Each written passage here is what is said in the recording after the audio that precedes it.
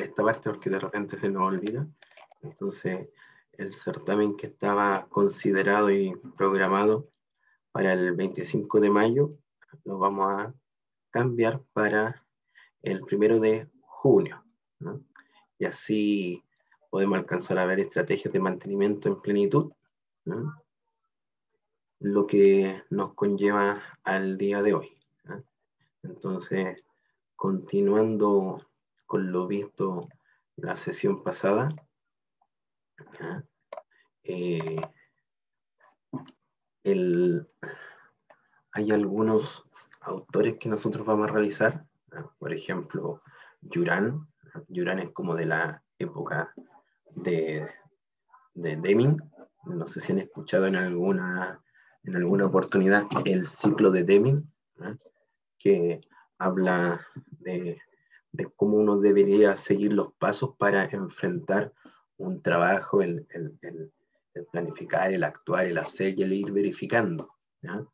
Eh, Yuran, uno de, los trabajos que también hizo es que tomó el gráfico de Pareto, tomó el gráfico de Pareto y, transformó ese gráfico de Pareto en una realidad más mecánica, eh, asociándolo entonces a, fallas, a cantidad de fallas, y cómo este 80% de fallas que tiene un, equipo pertenece al 20% de los componentes de este equipo. Eh,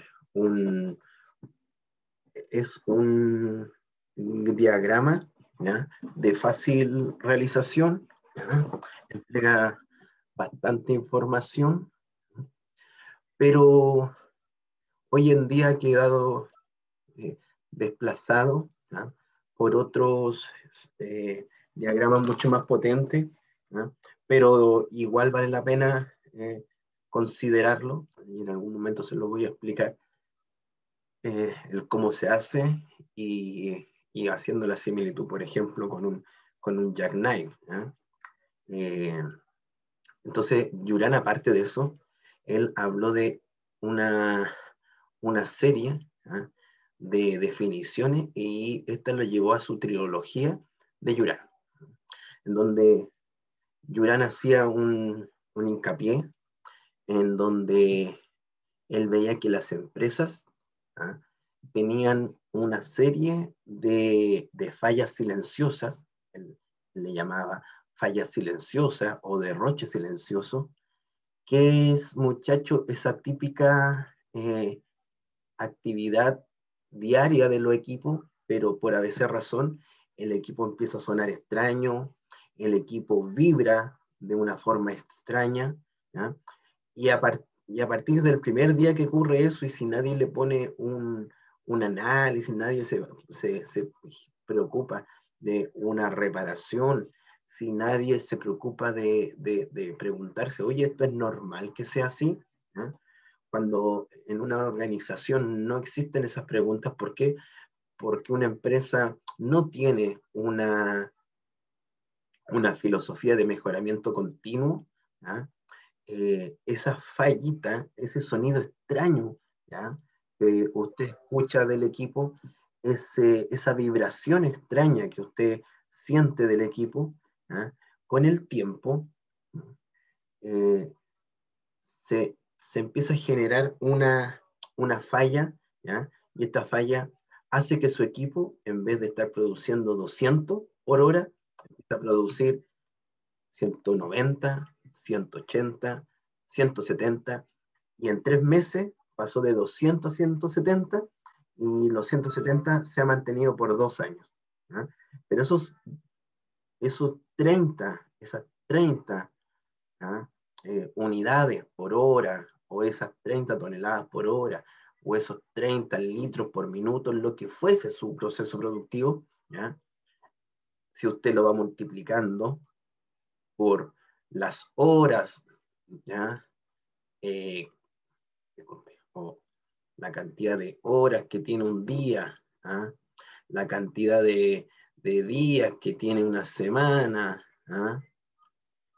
la cantidad de, semanas que tiene un año, eso conlleva a que si lo llevamos a una razón económica, cada unidad que no fuimos capaces de producir, cada litro que no fuimos capaces de transportar, cada tonelada que no alcanzamos a llevar a un proceso, ¿ah? va a haber al final ¿ah? Del año ¿ah? un desmedro económico que le vamos a empezar a llamar destrucción del negocio. Destrucción del negocio está asociado a esa pérdida en donde la empresa pudo haber generado este dinero, este recurso, pero no lo genera debido a la indisponibilidad, debido a la falta de, eficiencia que tiene su equipo, a la falta de, del rendimiento. Entonces, eh, estos, eh, este, este proceso de estas 30 unidades por hora que no estamos generando, se dan por unas fallas, fallas silenciosas.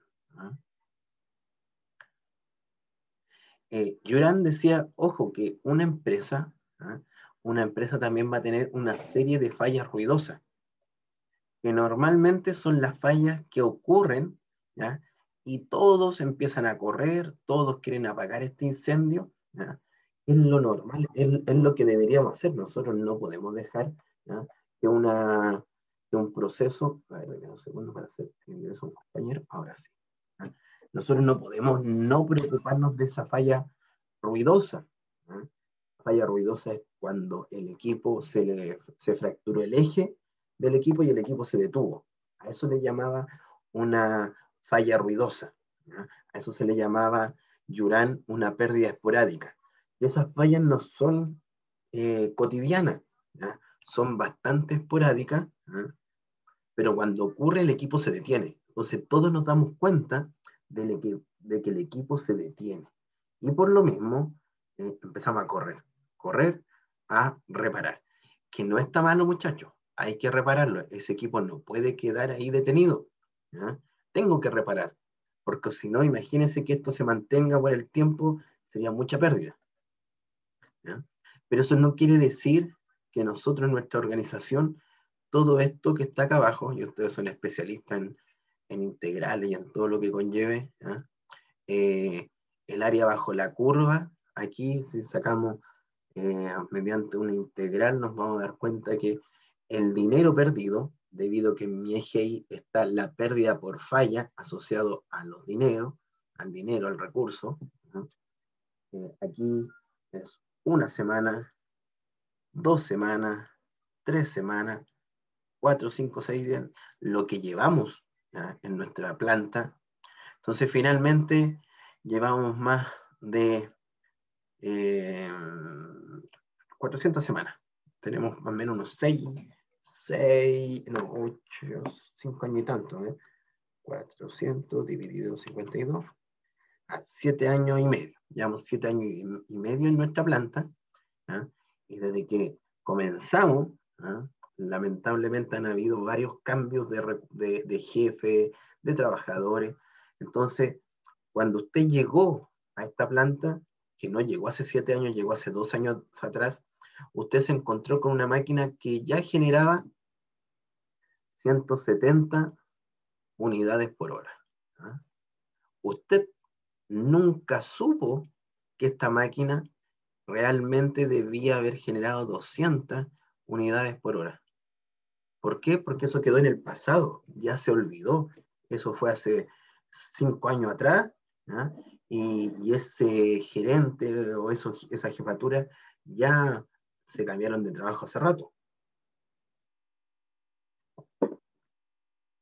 Eh, me van a disculpar hoy día que tengo que tomar mucho líquido porque me vacuné y me ando súper eh, deshidratado. ¿ah? Eh, entonces, me tocó el día de vacuna el día de hoy. Entonces, usted ya no, nunca conoció que la performance de su equipo eran 200 unidades por hora. Usted recibió una planta en donde el proceso era de 770 unidades por hora. Y por lo mismo yo lo motivo a que usted cuando llegue a una planta no piense que lo que le están indicando es lo real. Muchos paradigmas van quedando eh, en, este tema de que no, si esto fue antes así y por ende yo no tengo que, eh, que pensar en que esto se puede mejorar si el equipo siempre ha funcionado de esta manera. No, jefe, no se preocupe, si el equipo hay que pararlo cada cinco horas, le damos diez minutitos de descanso y el equipo vuelve a funcionar. Ah, qué bueno, ya, qué bueno que siga funcionando. Pero ¿quién está pagando esos diez minutos que el equipo se detiene, que el equipo se tiene que detener, que se vuelve a detener? ¿Ah? Entonces usted va a encontrar una realidad de diferentes empresas que la hemos ido escuchando también en varios de nuestros eh, colegas que han venido a, hacer estas presentaciones.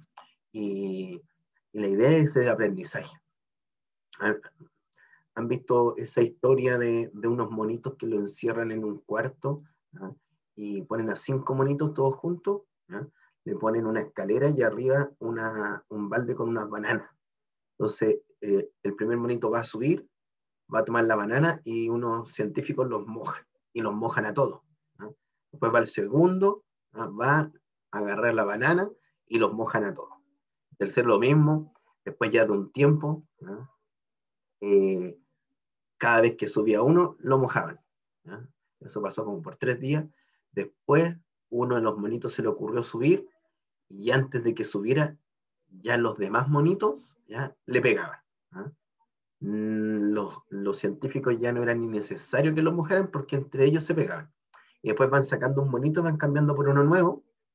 El monito nuevo llega, va a sacar el plátano y el otro le pega. Y él inmediatamente dice, ah, ya no le puedo subir. Y después cambian a todos.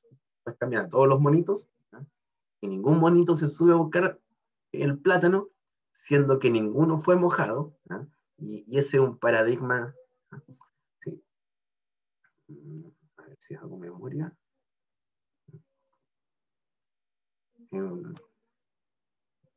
Para déjeme buscar acá para recordarme de ese, ese video. Era paradigma de los monos y bananas. Ese debe ser. Este. ¿ah? Ahí está. Viene dura. Veámoslo.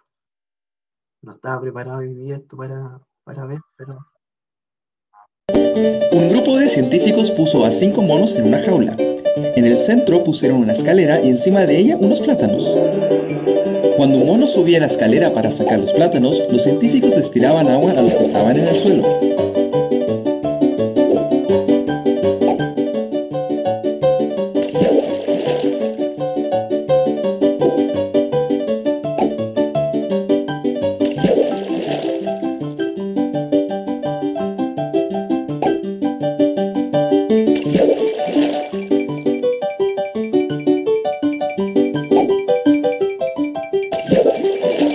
Después de un rato, cuando un mono iba a subir la escalera, los otros lo agarraban a combos.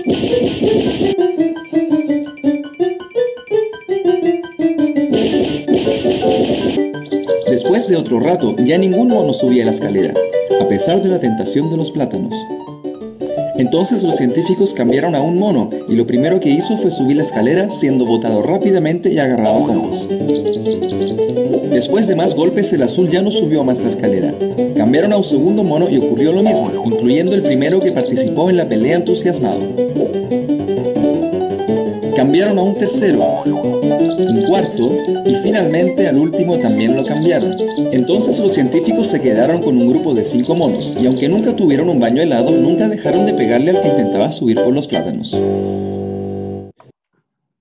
Ese es la creación de un paradigma, porque todos los otros monitos que llegaron nuevos nunca habían sido mojados, pero las cosas estaban así desde el inicio. Yo si me subía por la escalera me llegaba. Y eso pasa mucho en la empresa, muchachos, con, como la rotación es muy alta.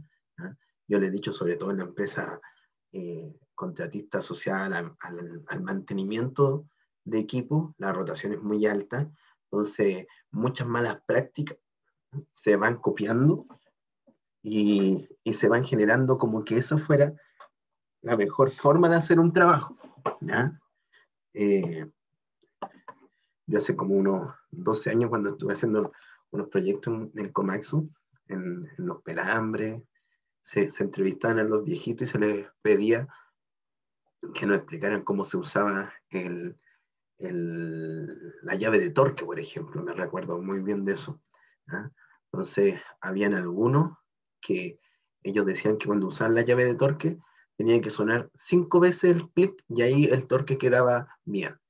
Otros decían, no, le apretamos y tiene que sonar tres veces. Otro eh, era diez veces. Entonces tú le preguntas cómo, quién le había dicho eso. No, don, don Marco nos, nos enseñó que así se utilizaba. No, don Julio nos decía que, y de repente muy marcado por turno, habían turnos que eh, usaban tres clics y otros que usaban diez clics, y ahí quedaba un buen torque. ¿ah?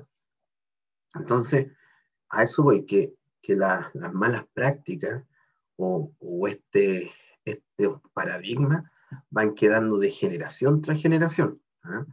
Y, y, romper con esa inercia y hacer ese cambio eh, una labor muy importante que tienen que hacer la empresa, ¿ya? Eh, y, y, la, y la empresa que piensa que una vez que desarrolló una capacitación y con eso está listo, olvídese, porque como la rotación es alta, siempre tienen que empezar a, a, a, formar a su nuevo capital humano. Y es más, muchas veces eh, empresas eh, mandan a gente a capacitar y y, esa, y esos personajes eh, llegan de esa capacitación ¿ah? y creen que haber aprendido todo y que está todo bien, pero a lo mejor alguno de ellos entendió mal y esa información se va pasando mal. ¿ah? Entonces hay que siempre estar eh, comprometido con, con el perfeccionamiento de los trabajadores. Ahora, ese tema me va a generar entonces cada instancia dentro de un proceso productivo, dentro de una empresa, dentro de una organización, voy a tener la posibilidad de generar ¿ya? Eh, metodologías de, mejoramiento continuo. Y, esa, y ese trabajo es arduo, es arduo, porque muchos de, de las primeras fallas van a ser sencillas de determinar. Mira, esto no puede estar sonando así, ya al oído ya y otro, vamos a tener que implementar algún instrumento, un, un, análisis de vibraciones, eh, cámaras termográficas, que obviamente va a tener un costo más alto. ¿ah? Las primeras actividades de mejora ¿ya? van a ser más sencillas porque con los sentidos nos vamos a poder detectar que hay algunos que están con falla. Y ahí se van a ir dando cuenta que de un 70, o sea, de 170 unidades por hora, ya hoy día estamos en 185 unidades por hora. Yo puedo decir, ya estoy bien, ya crecí, ya estoy listo, ¿ah?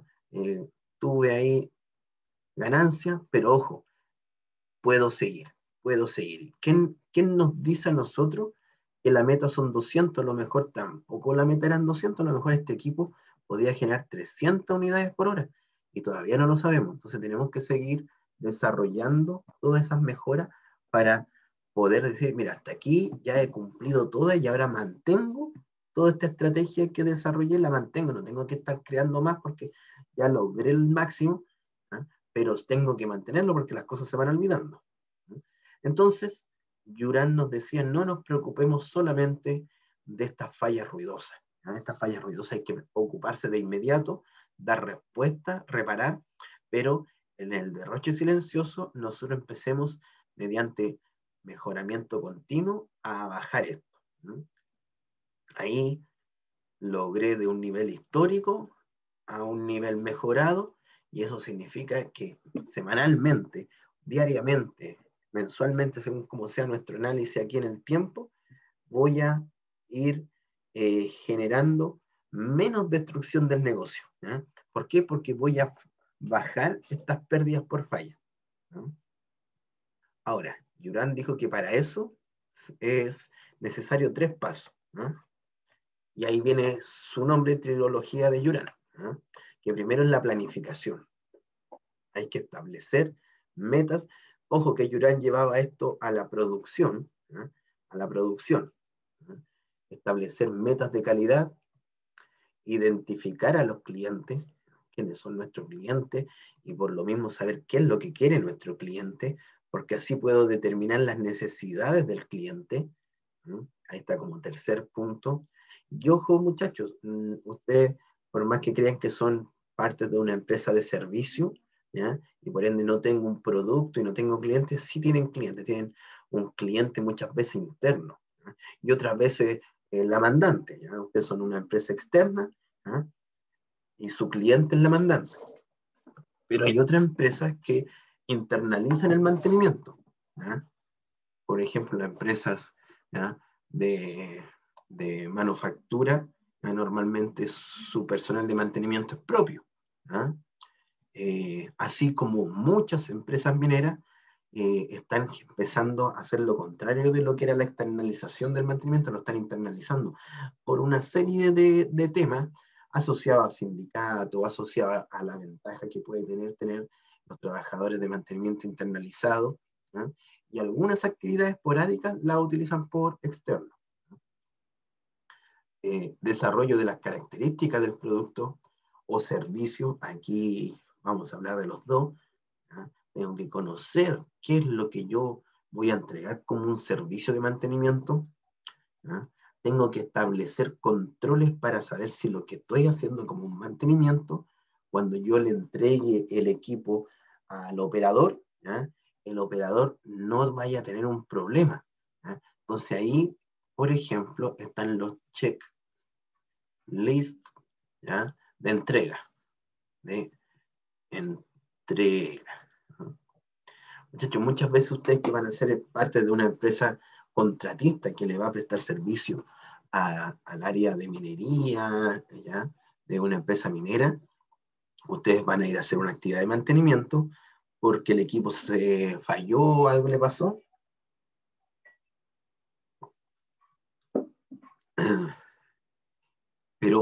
Cuando usted termine de hacer esta actividad esta intervención correctiva o preventiva, cualquiera de las dos, usted va a tener que llevar un documento firmado por alguien, en donde te diga que tú, la actividad que hiciste está lista, ya entregó su equipo al operador. Quizás en alguna empresa va a ser el operador que te va a firmar, otra el supervisor. ¿Ah? Con eso usted, con ese papelito, usted va a juntar muchos de esos papelitos y va a poder cobrar al final de año porque eh, la empresa pues, y el, administrador del contrato decía, tráeme todas las fichas firmadas de las pegas que ustedes hicieron, aquí están, ya vamos calculando cuánto es. Se trabaja así en muchas empresas. Ahí esa es la pega del administrador de contrato. ¿ah?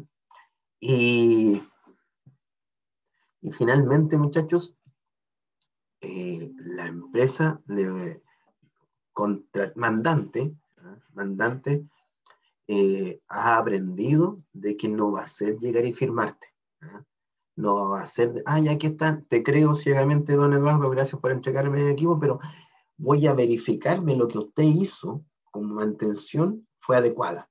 Entonces, a ver, traiga el checklist. ¿Dónde está el checklist? Muchas empresas mandante van a decir, mira, este checklist de entrega y otra empresa eh, prestador de servicio de mantenimiento tiene el checklist. Pero el checklist de entrega es decir, ya, vamos a hacer una puesta en marcha por cinco minutos para ver condiciones iniciales del equipo. A ver, echa a andar el equipo, ¿ya?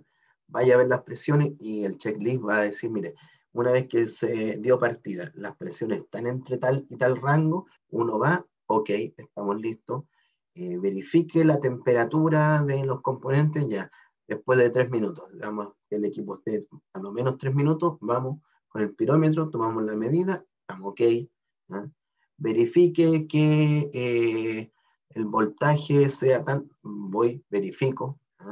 Entonces, esos son, verifique que no haya fuga de aceite después de los tres minutos, que verificamos, damos la vuelta al perro, como se dice, la vuelta del perro para ver si hay alguna fuga.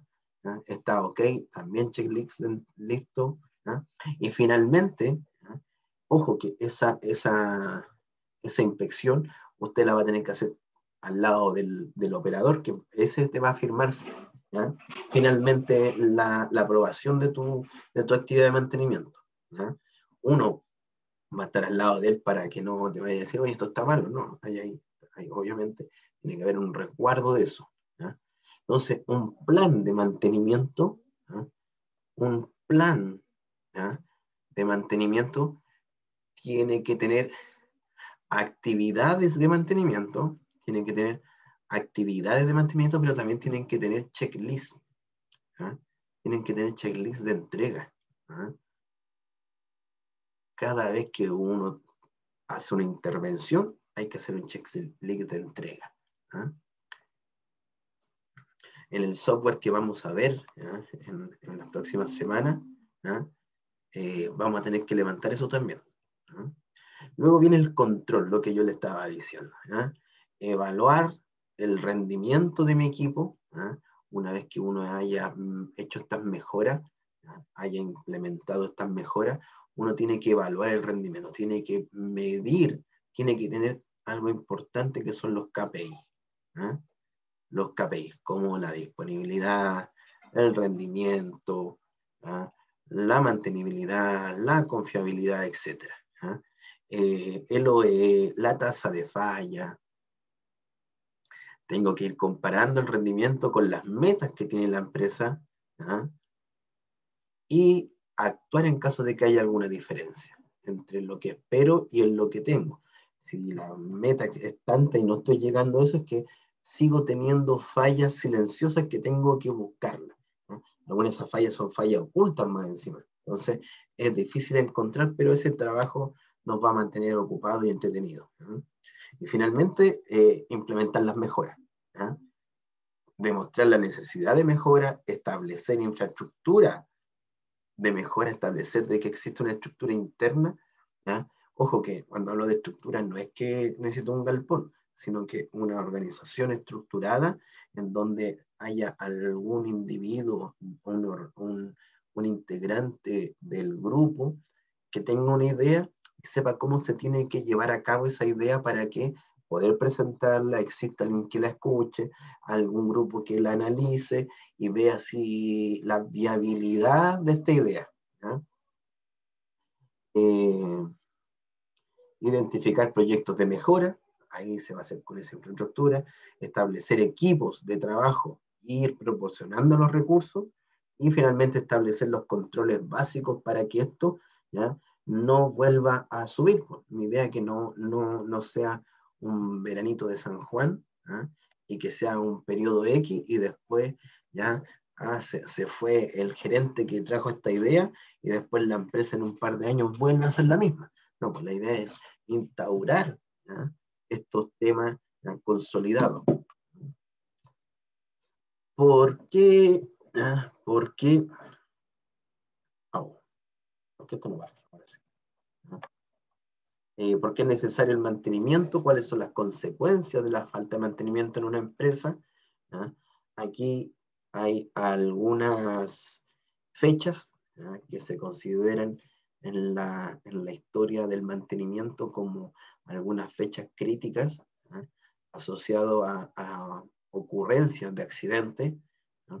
Eh, una de las primeras en el 74 en el Reino Unido, que fue en, en, una instalación petrolera, eh, dejó 28 muertos. esta, que también, de alguna manera, en, su momento, recuerde que India era una colonia británica. ¿ah? Eh, el 3 de diciembre del 84 ¿ah? se generó un accidente gravísimo ¿ah? en donde no hubieron solamente 2.000 muertos, esta es la, la, información del primer día. Posteriormente se cuenta que fueron más de 20.000 fallecidos en esta región de India, que era una región muy pobre, en donde la Unión Cambridge, que era una empresa norteamericana, se instaló para eh, fabricar pesticidas.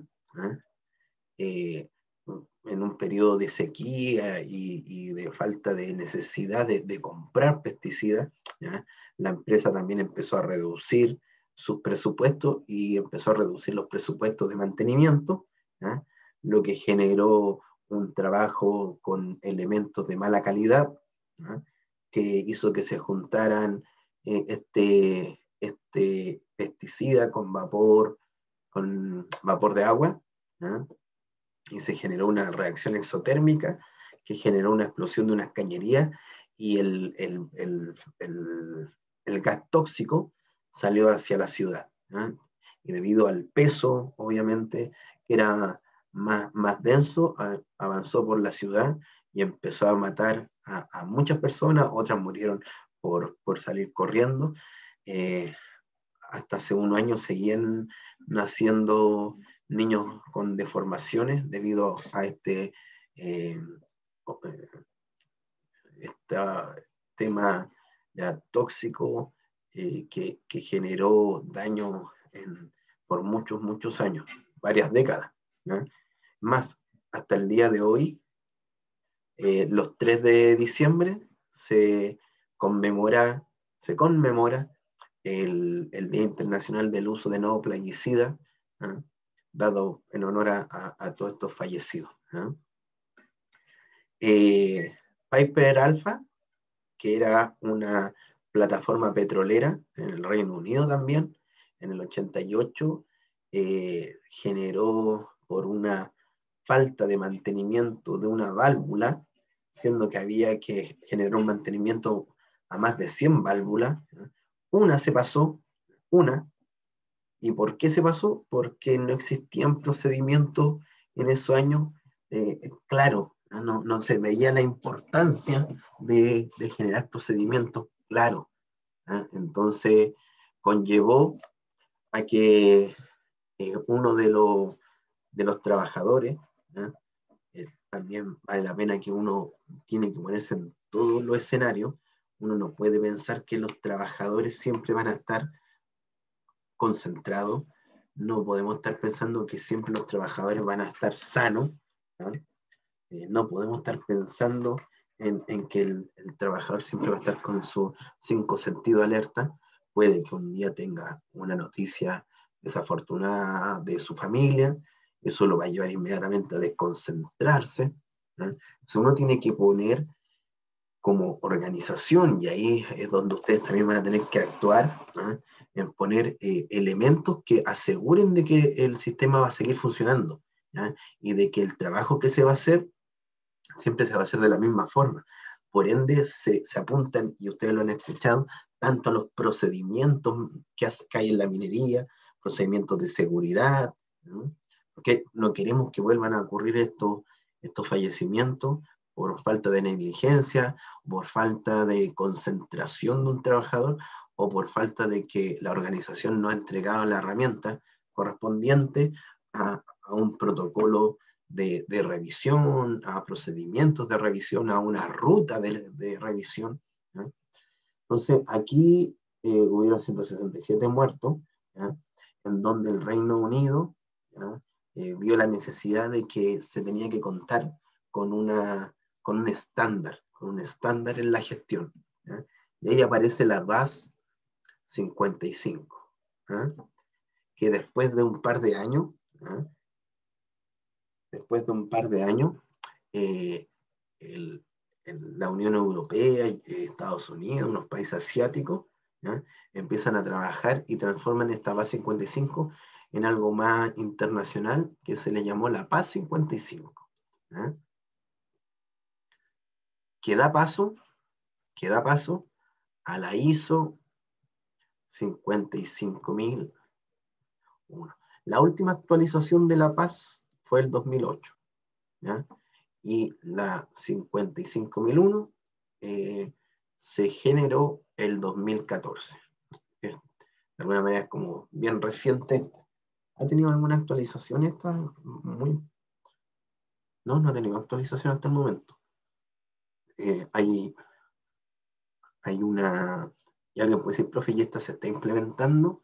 Hay, una, hay un decreto de ley chileno que involucra a la, a la empresa de eh, transporte, eh, distribución, generación eléctrica, me falta otra, son cuatro.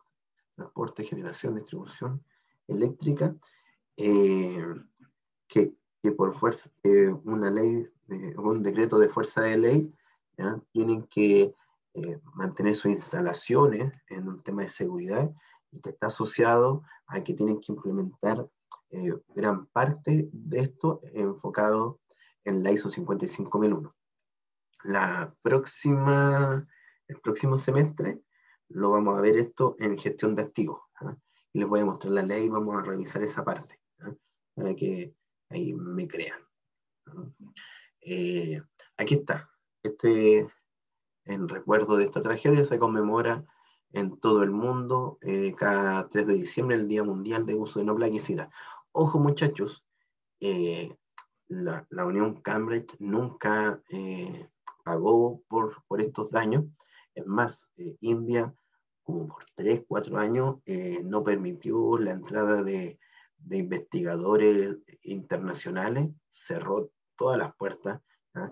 hubo mucho, mucho dinero bajo la mesa aquí, ¿ah? eh, y después de un, unos par de años, ¿ah? eh, pudieron, pudieron ingresar investigadores. Yo acá, y lo tienen ustedes en su, en su presentación, eh, hay un, un, link ahí abajito, se ve, no se ve muy bien, pero si van a, al, a YouTube, eh, pongan media noche en Bhopal, ¿ah? y ahí tienen el documental de estos investigadores que, que explican todo eh, la ocurrencia, dura como 45 minutos, ¿ah? Es bastante interesante, se lo aconsejo que lo vean. Eh, habla de por qué eh, el mantenimiento, más que el culpable, fue el origen de, de, este gran accidente y debido a que la empresa empezó a quitar presupuesto, a bajar el presupuesto de mantenimiento y tenían que hacer tareas con, con herramientas o con repuestos ya no originales, artesanales. Es más, cuando llegaron los bomberos trataron de sacar agua, ni los sistemas de contraincendio eh, estaban en buen funcionamiento. Eh, los dueños de esto, eh, cuando arrancaron, porque arrancaron, en definitiva, le echaron la culpa que había sido un boicot de los de los sindicatos. Y ahí queda demostrado que no, hacen todo el, el, peritaje asociado a, esto. Ahí está, en el time también.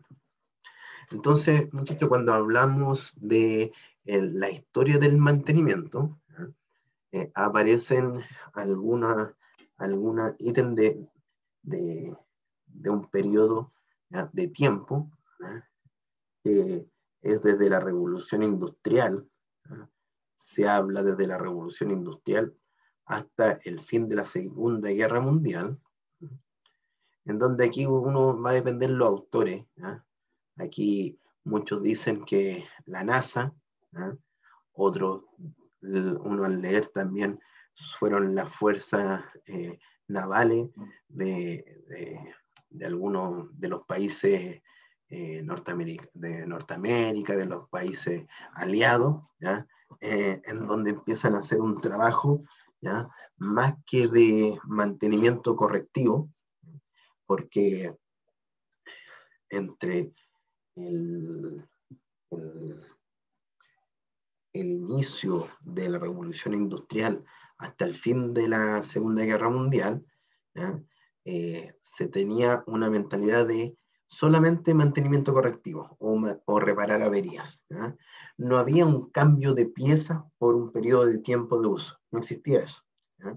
Pero dado que la NASA hace todo este, empieza a hacer este levantamiento, también eh, la Fuerza Armada se dan, se dan cuenta de que el, el que un buque, su cañón no esté operativo cuando ellos lo necesitaban, ya no era de que no podía producir, sino que eh, probablemente iban a venir los, los nipones o los nazis y le iban a, a destruir un, un, buque de guerra. Entonces ellos se dan cuenta de que habían algunos componentes ¿ya? dentro de estos equipos que podían ser cambiados eh, con un análisis de la edad del componente. Se dieron cuenta que, mira, este rodamiento dura normalmente más de 10.000 horas, pero ya a las 12.000 horas no queda ninguno bueno. Eh, hay alguno que haya fallado a las 5.000, ninguno. Hay alguno que haya fallado a las 8.000, ninguno. Hay alguno que haya fallado a las 9.000, sí, como un 3% ha fallado. ¿Y qué pasa a las 10.000? Entonces empezaron a darse cuenta de, este análisis de estadístico, aquí a través de el tiempo, el tiempo, el tiempo y eh, número de falla. Falla. Entonces se dieron cuenta que en, a las 10.000 horas estaba la mayor cantidad de fallas. Una gran acumulación de fallas. Pero a las 9.500 también había no tantas, y a las 10.500 también había no tantas, y se dieron cuenta que en este sector estaba la mayor concentración de falla. Y por ende, ellos decían, mira, el componente, cuando comienza su inicio de trabajo, empieza a desgastarse de forma natural. Pero llegada a cierta edad, la, el desgaste es acelerado. Entonces nosotros lo que, no, lo que nos interesa, lo que nos, está, lo que nos está interesando acá, es decir, antes de que llegue esa, esa aceleración del desgaste, o sea, aquí poder hacer un MP, que es esto un mantenimiento preventivo. Y esto significaba que, por ejemplo, a las 7000 horas, nosotros íbamos a tomar ese rodamiento, lo íbamos a sacar, lo íbamos a botar a la basura y íbamos a poner uno nuevo. Que a, la 15, a los 15.000 kilómetros íbamos a tomar ese filtro de aceite, lo íbamos a sacar, lo íbamos a botar y íbamos a poner uno nuevo. Que a las 50.000 horas íbamos a tomar este filtro de aire, lo íbamos a sacar y íbamos a cambiar por uno nuevo.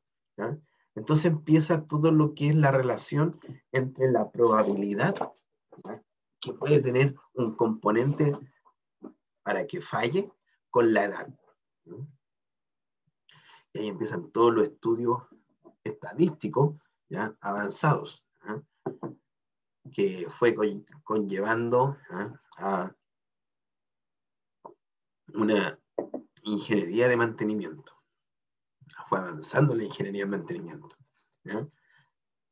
Entre el 1945, o sea, el término de la Segunda Guerra Mundial, y en 1980, se dice que eso fue la segunda generación del mantenimiento.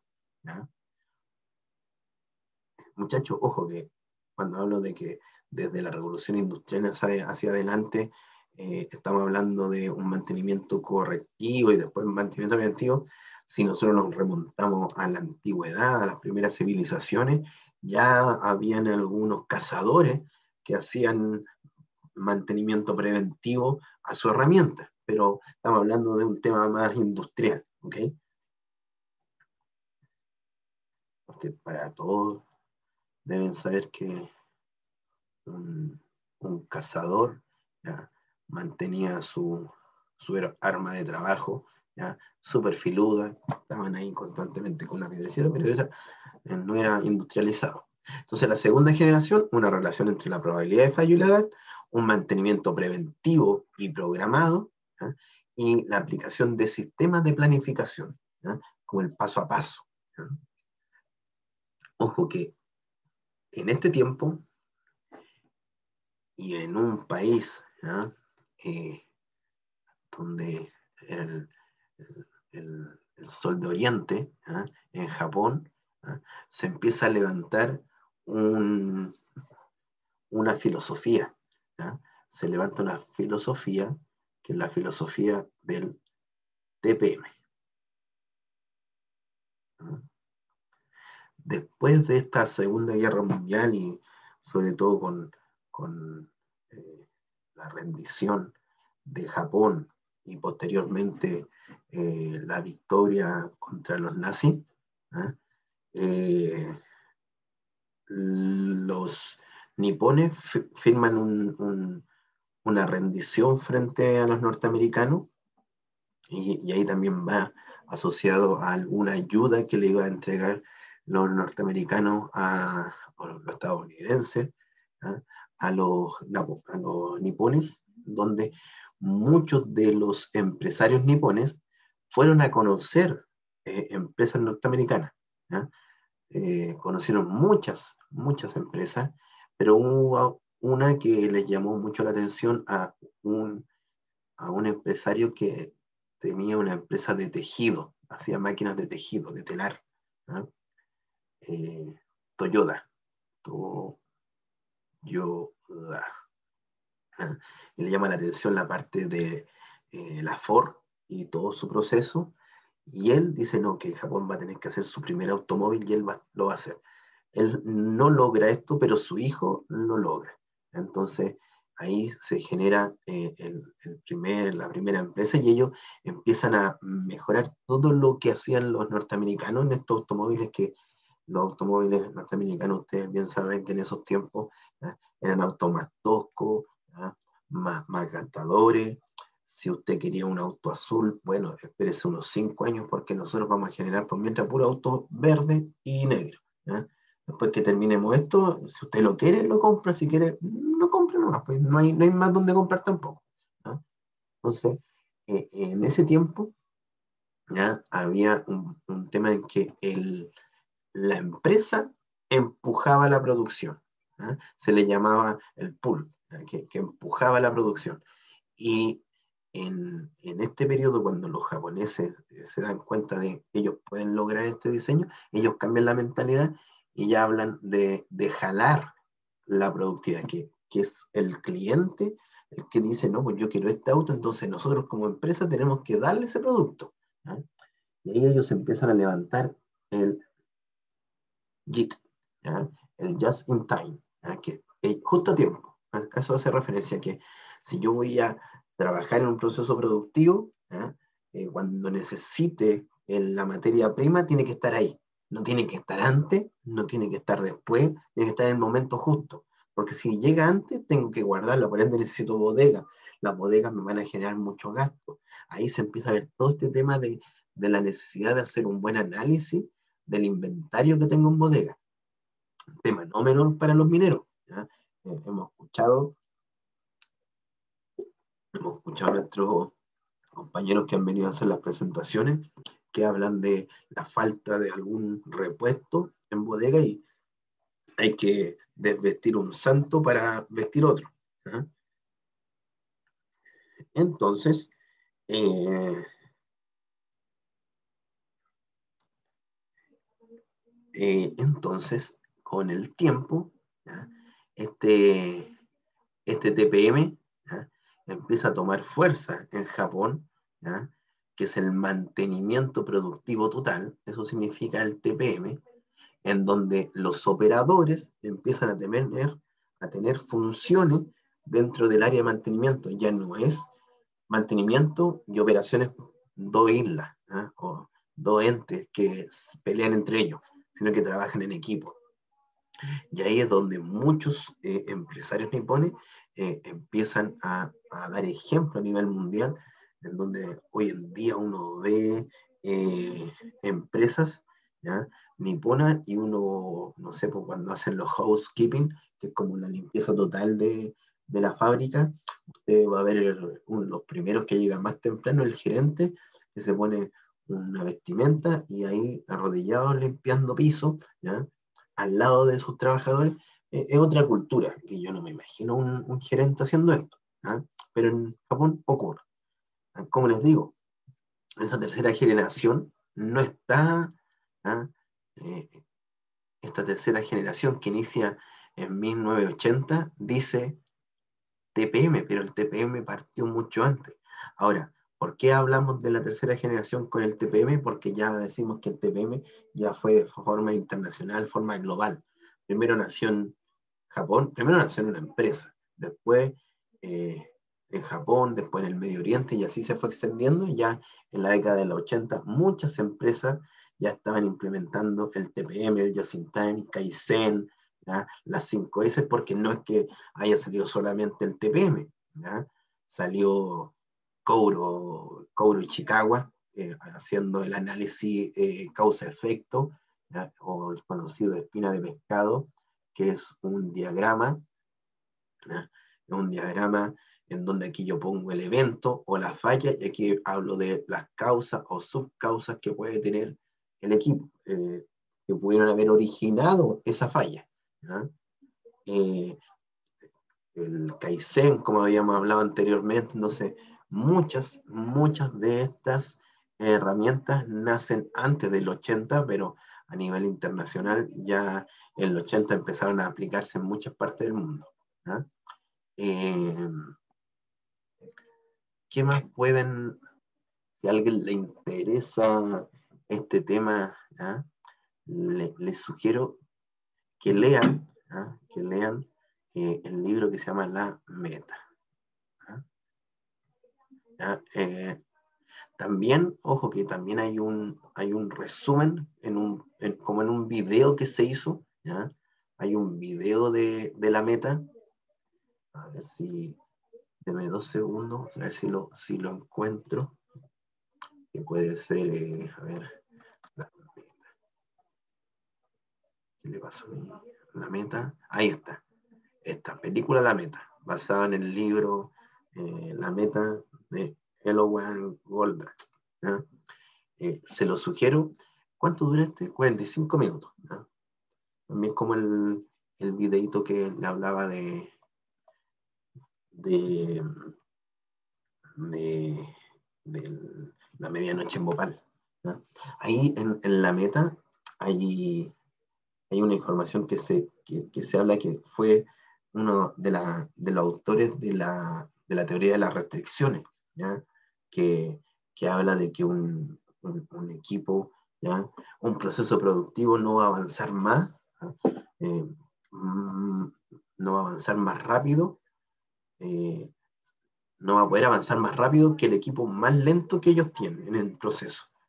Entonces, ahí eh, en ese libro este, es, un, un, gerente de una planta que la están, está en proceso de cierre porque no está llegando a las producciones que le exigen. Entonces, él tiene un proceso productivo y se da cuenta que no está cumpliendo los compromisos, ¿ah? no está cumpliendo eh, con los tiempos, con la calidad, y, están a punto de cerrarle su fábrica, y, hay, un día acompaña a su hijo a una excursión, y él queda a cargo de la excursión, y, y todos los niños alegaban porque había uno que era más gordito y se iba más lento. Entonces él miraba y decía, mira, por más que los dijo ya vamos a amarrarnos para avanzar más rápido, igual todos avanzaban y en un momento, unos kilómetros más allá, tenían que esperar porque tenían que esperar a este joven que se demoraba más. Entonces él toma la decisión, de decir ya, él va a ser nuestro líder, él se va a ir de los primeros. Después le dice, a ver, muéstrame lo que tiene, y llevaba muchas cosas en su mochila y empezó a acelerar un poco más. Entonces ahí empieza el tema de los cuellos de botella. Y se da cuenta que este elemento, este activo, tiene que tener este just in, time, el JIT, just in time. Eh, se los recomiendo porque, ojo, la, la, la mantención para algunos profesionales es solamente encargarnos de los números e indicadores asociados a la mantención. Y eso, muchachos, eh, muchas veces es mirarse el ombligo porque eh, nosotros somos parte de un todo en una empresa. Si no reconozco otros indicadores o si no, y si no conozco lo que quiere la empresa, por más que sea el mejor mantenedor, y le diga a mi empresa, no, es que este equipo tiene que ir a mantenimiento y la empresa te diga, no, pues sí, aquí tengo que cumplir con esto, con este cliente y tienes que esperarlo más porque esto está primero. Eh, eh, es un todo, se tiene que trabajar en equipo y un día que tú tengas que soltar y decir ya no lo hago, otro día ellos también tienen que aceptar eso.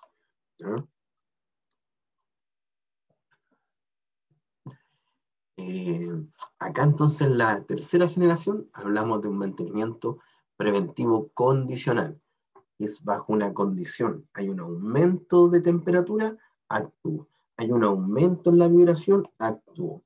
Hay un aumento o una disminución en la presión, actuamos mediante una actividad de mantenimiento.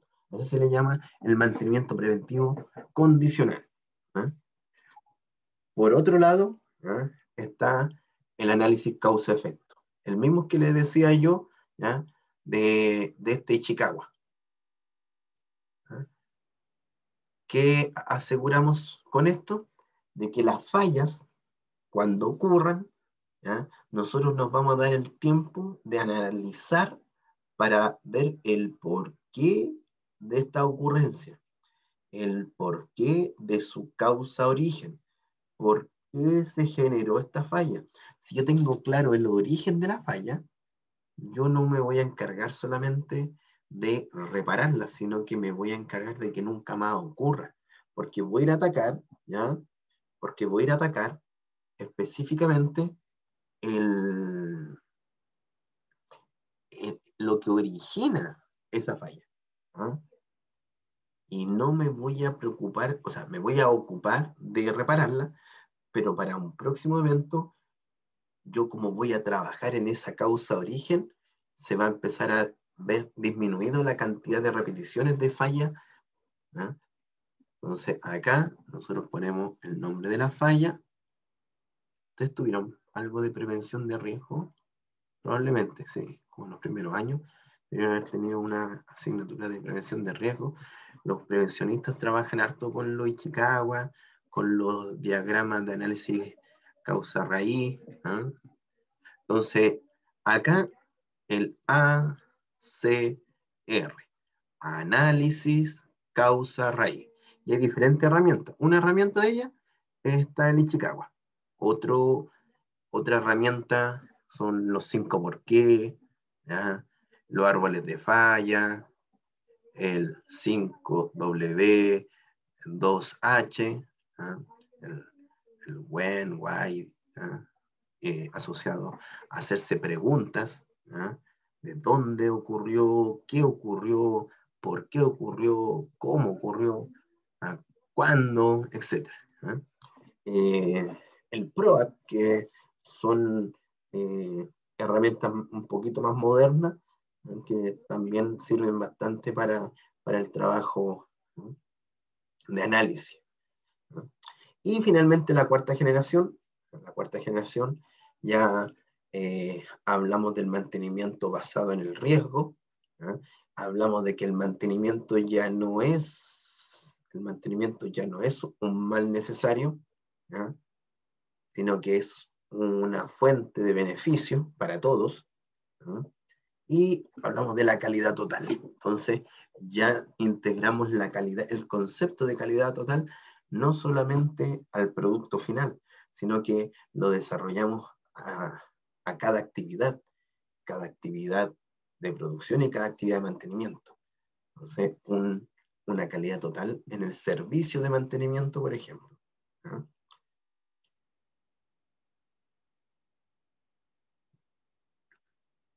Como les comenté, esta fue la última actualización que tuvo la PAS 55, que fue el 2008. Es un, es un, una norma, ¿ya? una norma internacional que apunta a la gestión de activos.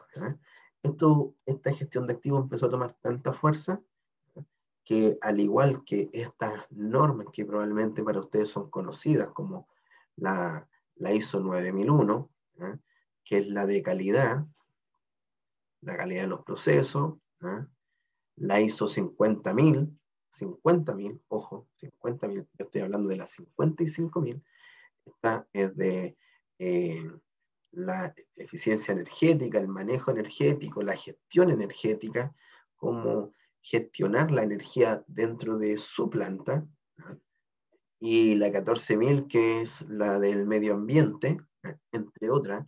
Ojo que hoy en día, no sé si estuvimos en esa, en esa reunión que yo les comentaba, que hoy en día la norma ISO 45001 va a desplazar a la OCHAS, que hoy en día tenemos la OCHAS 18001, pero la ISO ya se está levantando y esta va a ser una norma de seguridad. Está trabajando en aquello. Y como les comenté, tenemos la ISO 55000. La ISO 55000 está publicada en tres partes. Como toda, la ISO 55001 especifica finalmente los requerimientos para las buenas prácticas de la gestión de activos. Entonces, esta ISO 55000 es la nueva norma que marca el estándar internacional para llevar a cabo la gestión de activos. Surge de los éxitos obtenidos de la norma PAS 55 o el estándar británico para la gestión óptima de los activos físicos. Eh, esta fue levantada el 2014, como les comenté. La ISO 55000 habla de la visión global que tiene esta ISO, habla de concepto y también de terminología. Nos da algunos términos clave para que todos hablemos el mismo idioma. Y la 55002 es es la guía para la interpretación de los requerimientos. Por ejemplo, aquí me ayuda a decir, mira, estas son las directrices, aquí tengo esta duda, aquí me guía, es una guía esta. Esta es la aplicación. Entonces, cuando usted se va a certificar, se va a certificar con la ISO 55001. Y eso nos va a acompañar la próxima, el próximo semestre por la importancia que tiene usted tiene una asignatura que se llama gestión de activos y, no ver la ISO 55001 sería catastrófico. Como eh, ingenieros que tienen una asignatura de, gestión de activos, después le pregunten a usted, oye, ¿cuál es la ISO 55001? No tengo idea, es como descabellado. La organización en una empresa asociada al área de mantenimiento, aquí doy un ejemplo, pero muy viejo, que estaba su gerente de planta y ahí hay diferentes jefes. Hoy en día, más que el jefe de mantenimiento, usted en las grandes empresas, ojo que igual van a haber empresas que tienen esto, que, tienen jefes de, de unidades. Pero hoy en día en las grandes empresas usted va a ver un departamento, departamento de mantenimiento. y que se diga mantenimiento, no, no vaya a decir mantención, porque mantención según la RAE, eh, más que nada está asociada a, mantener a alguien, tanto económica como eh, económica, pues, creo que es para mantener a alguien de forma económica, según la RAE, mantenimiento, eh, mantención. También hoy en día hay departamentos de confiabilidad.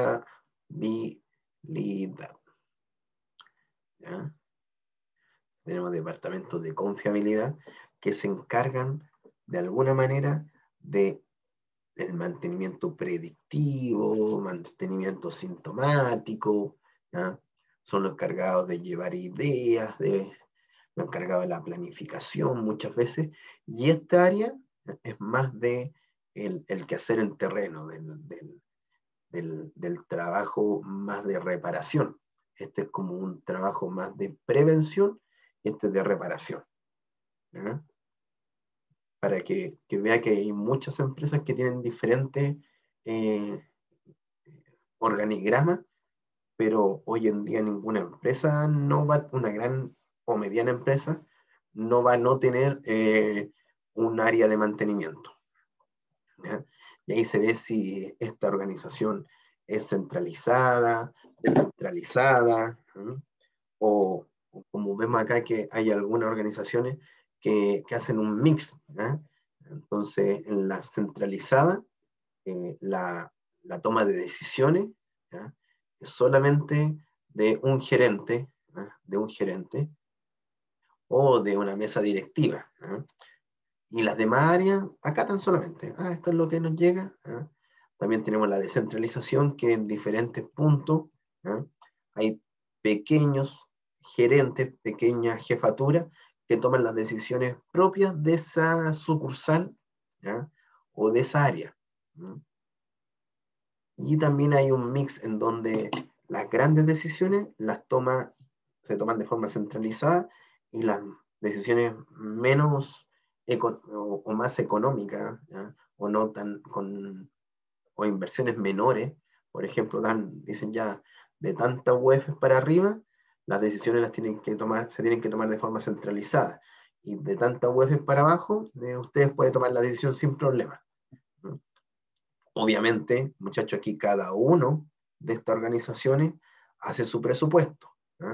Hace su presupuesto y esa, esa presupuestación lo va a autorizar un, comité de presupuesto, que obviamente va a estar bien de la mano de, de este, de, de, este gerente general.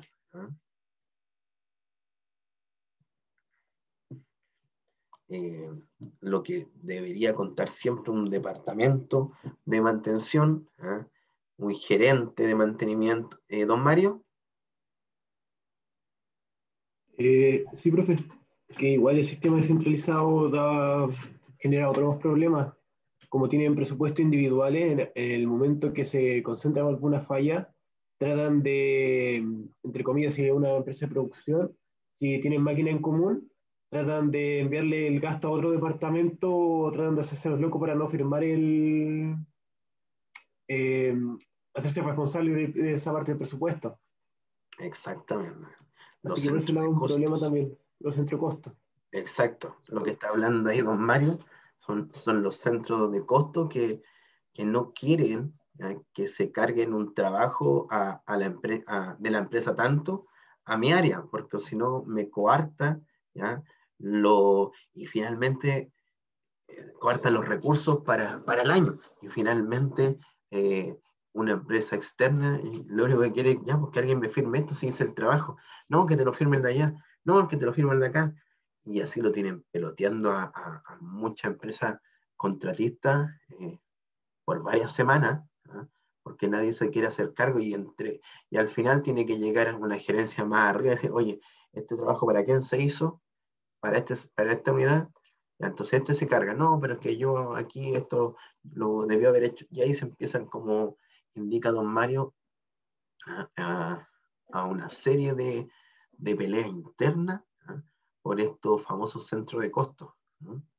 Ahí en el, en el, software que vamos a ver, eh, también hay la opción de, de, generar los trabajos a qué centro de costo.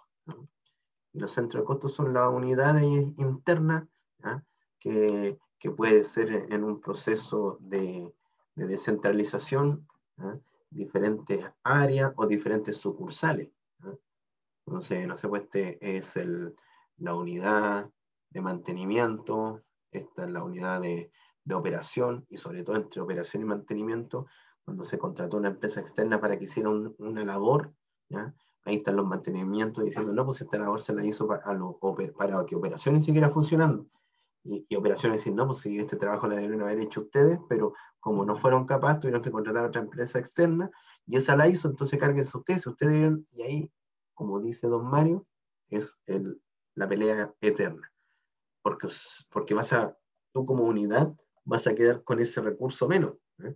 Esa empresa te cobró 5 millones de pesos por esa labor, eh, son 5 millones menos para generar eh, diferentes trabajos a futuro.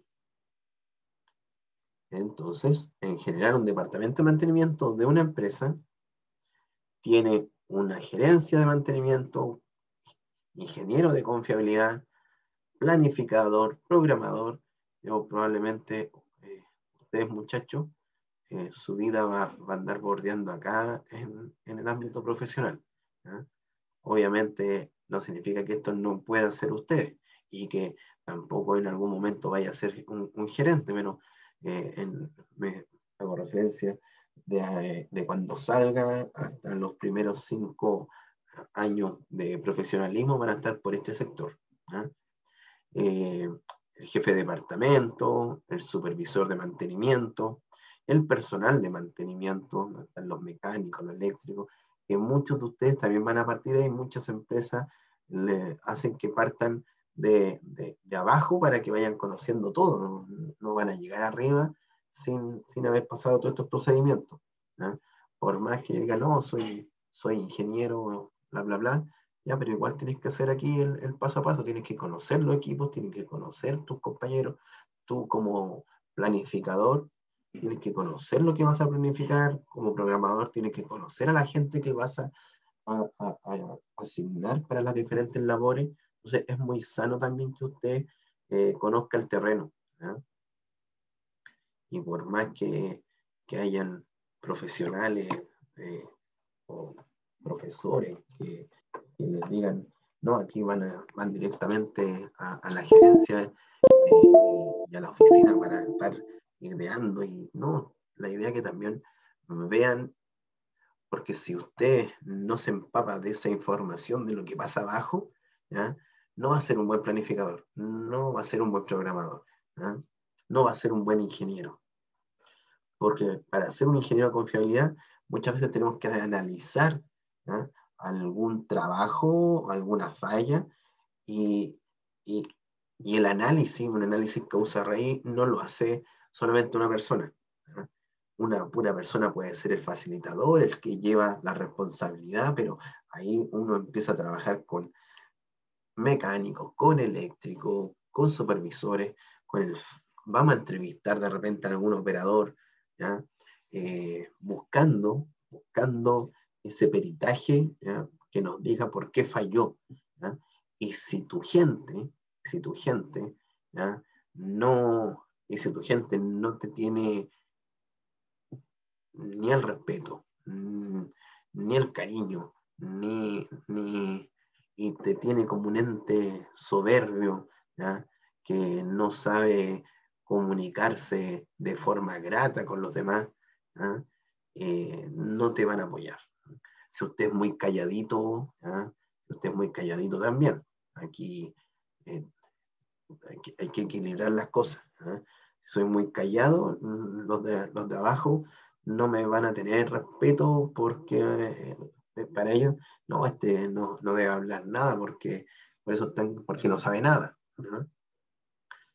Entonces, es saber cómo hablar, es saber cómo expresar, es saber que lo que hacen los demás son, son eh, servicios elementales y, y, vitales para la empresa. Entonces, todos juntos tiramos este carro.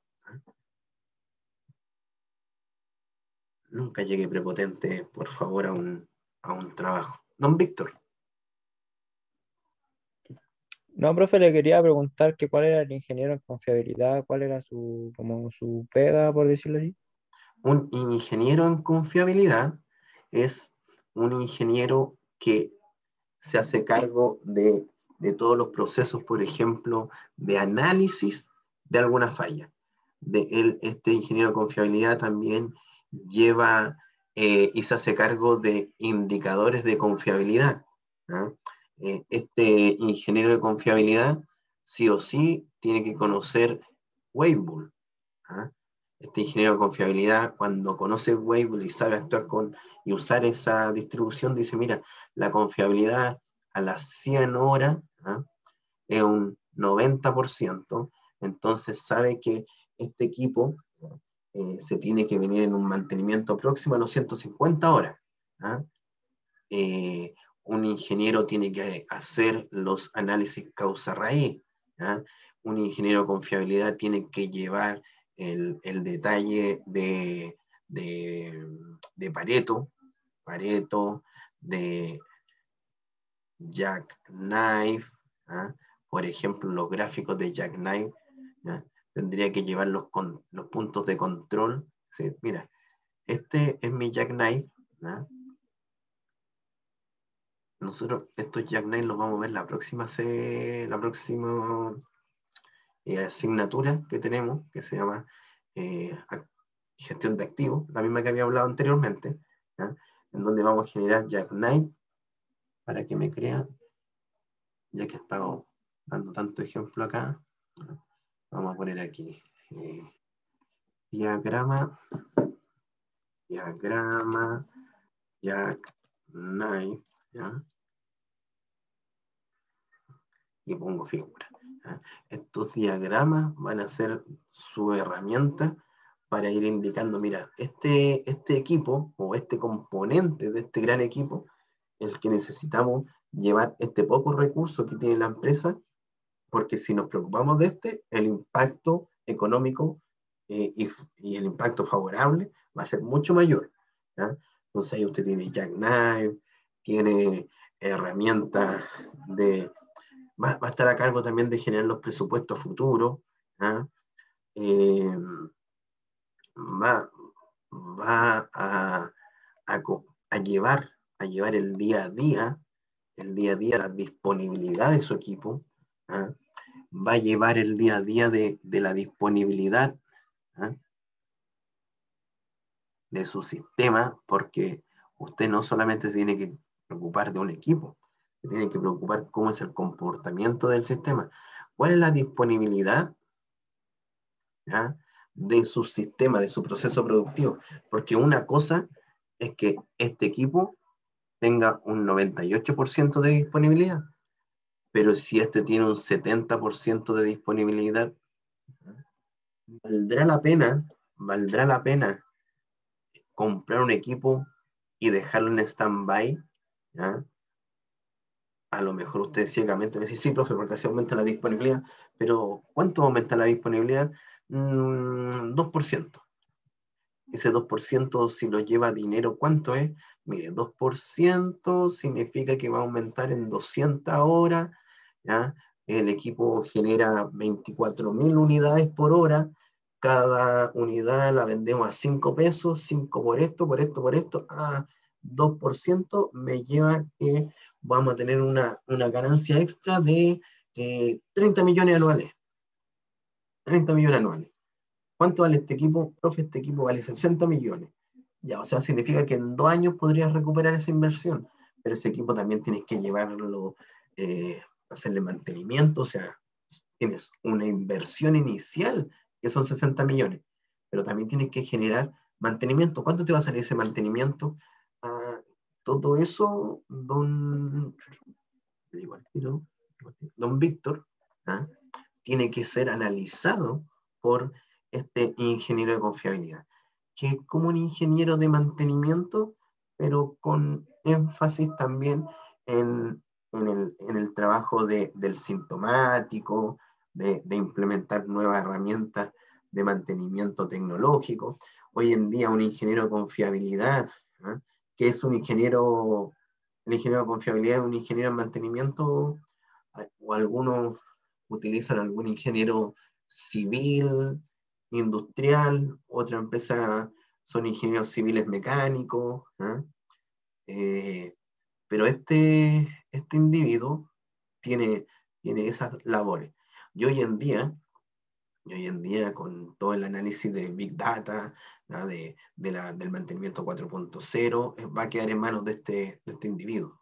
¿ah? tiene un bonito desafío ahí y futuro creciendo, ahí usted ya, ya, va a ir, ya va a ir de la mano con, la programación. Usted necesariamente ya debería enfocarse en, un poquito de programación. Ya, ya como ingeniero y no como técnico, como ingeniero, debería conocer el concepto de lo que es los algoritmos, lo que son. Ustedes hicieron, ya tuvieron una asignatura asignatura asociada al uso de programación, cosa que la, carrera anterior no la tenía. Yo como ingeniero civil mecánico, de, obviamente de, años atrás, me pasaron Pascal. Pascal, que era un lenguaje de programación que posiblemente eh, es el padre de, Python. Y hace, me acuerdo que el año pasado parece, yo hice un, curso de, Python para no estar tan, tan, tan olvidado y, no por lo que veía el if y todos los comandos eran casi los mismos. Entonces, eh, eh, la programación es, un lenguaje que va variando poco.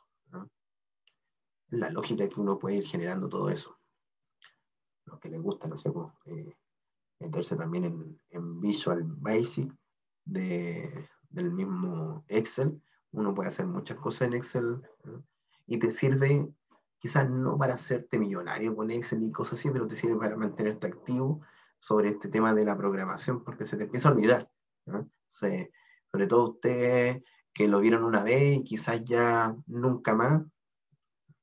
Yo en, su momento empecé a hacer pruebas de la parte de resistencia material, en donde hacía una macro donde iba eligiendo el alumno y me imprimía solito y era apretar un botón nomás, elegía el alumno y me salían pruebas diferentes. ¿Ah? Y generé una macro toda ordinaria, pero sirvió. ¿ah? Sirve para recordar, como les comentaba. Entonces, muchachos, aparte, ¿ah?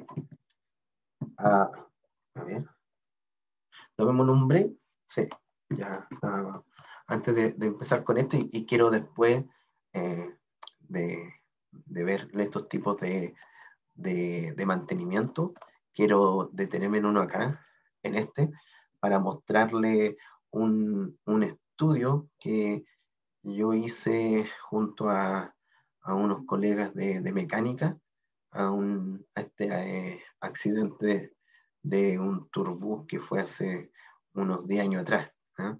para que se den cuenta que la, el, campo, el campo que hay para el, área de mantenimiento, el área de mecánica, eh, es, bien, bien amplia. Eh, es cosa de que uno pueda creérsela nomás y, y, empezar a, generar proyectos. ¿ah? Ya muchachos, voy a detener la, la, la grabación. Muchachos, como le he comentado algunas cosas, eh, mm, mucho de lo que le, hablo lo, vamos a ver en, próximas asignaturas. No, no, doy más tiempo a algunos temas, ya que son propios de una asignatura más adelante. Entonces, eh, tampoco para que como acá se, se dividen los cursos, eh, así cuando veamos Jackknife, porque podría explicarle cómo se hace el Jackknife, pero ya que lo vamos a ver la próxima, la próxima, el próximo semestre, ¿ah? me quedo con esa tranquilidad de que lo vamos a ver y con el compromiso de que eh, espero que lo vean conmigo ¿ah? para ir desarrollando todos los trabajos que, que requiere hacer este análisis Jackknife. Eh, hay, estrategias de mantenimiento y hay, hay tipos de mantenimiento. Igual hablo acá de tipos de mantenimiento porque hoy en día eh, igual hay empresas que en el lenguaje diario eh, tienen diferentes tipos de nombres. Y, ojo que hay, hay libros que también se enfocan en dar diferentes tipos de nombres a, la mantención, a los tipos de mantenimiento. Muchachos, vamos a ver aquí algunos, existen más, va a depender mucho. Hay un libro que es de un autor argentino que se llama Alejandro Pistarelli, que él habla de 14 tipos de mantenimiento. Hay otros libros que indican menos, pero va a depender mucho también los nombres asociados a, a la, a la, a la realidad de la empresa, a la cultura de la empresa, a la cultura propia del país. Entonces, eh, lo que vemos acá, mantención correctiva o por avería, la preventiva, una mantención periódica. A decir, profe, estas dos son, son prácticamente las mismas, sí, sí vienen, ambas vienen directamente de la mantención y la estrategia, una estrategia preventiva. Pero quiero hacer la distinción en que hay empresas y algunos rubros que la llaman diferente. Mantención correctiva del diseño, mantención sintomática, predictiva y proactiva. La elección de uno de estos tipos para aplicar el mantenimiento en un equipo o componente del equipo dependerá en primer término de las características y aplicabilidad de cada tipo. Y finalmente los costos, pero los costos totales, no los costos solamente de la intervención. Porque muchas veces podemos decir, miren, los costos de la intervención del mantenimiento preventivo eh, es más alto que el correctivo.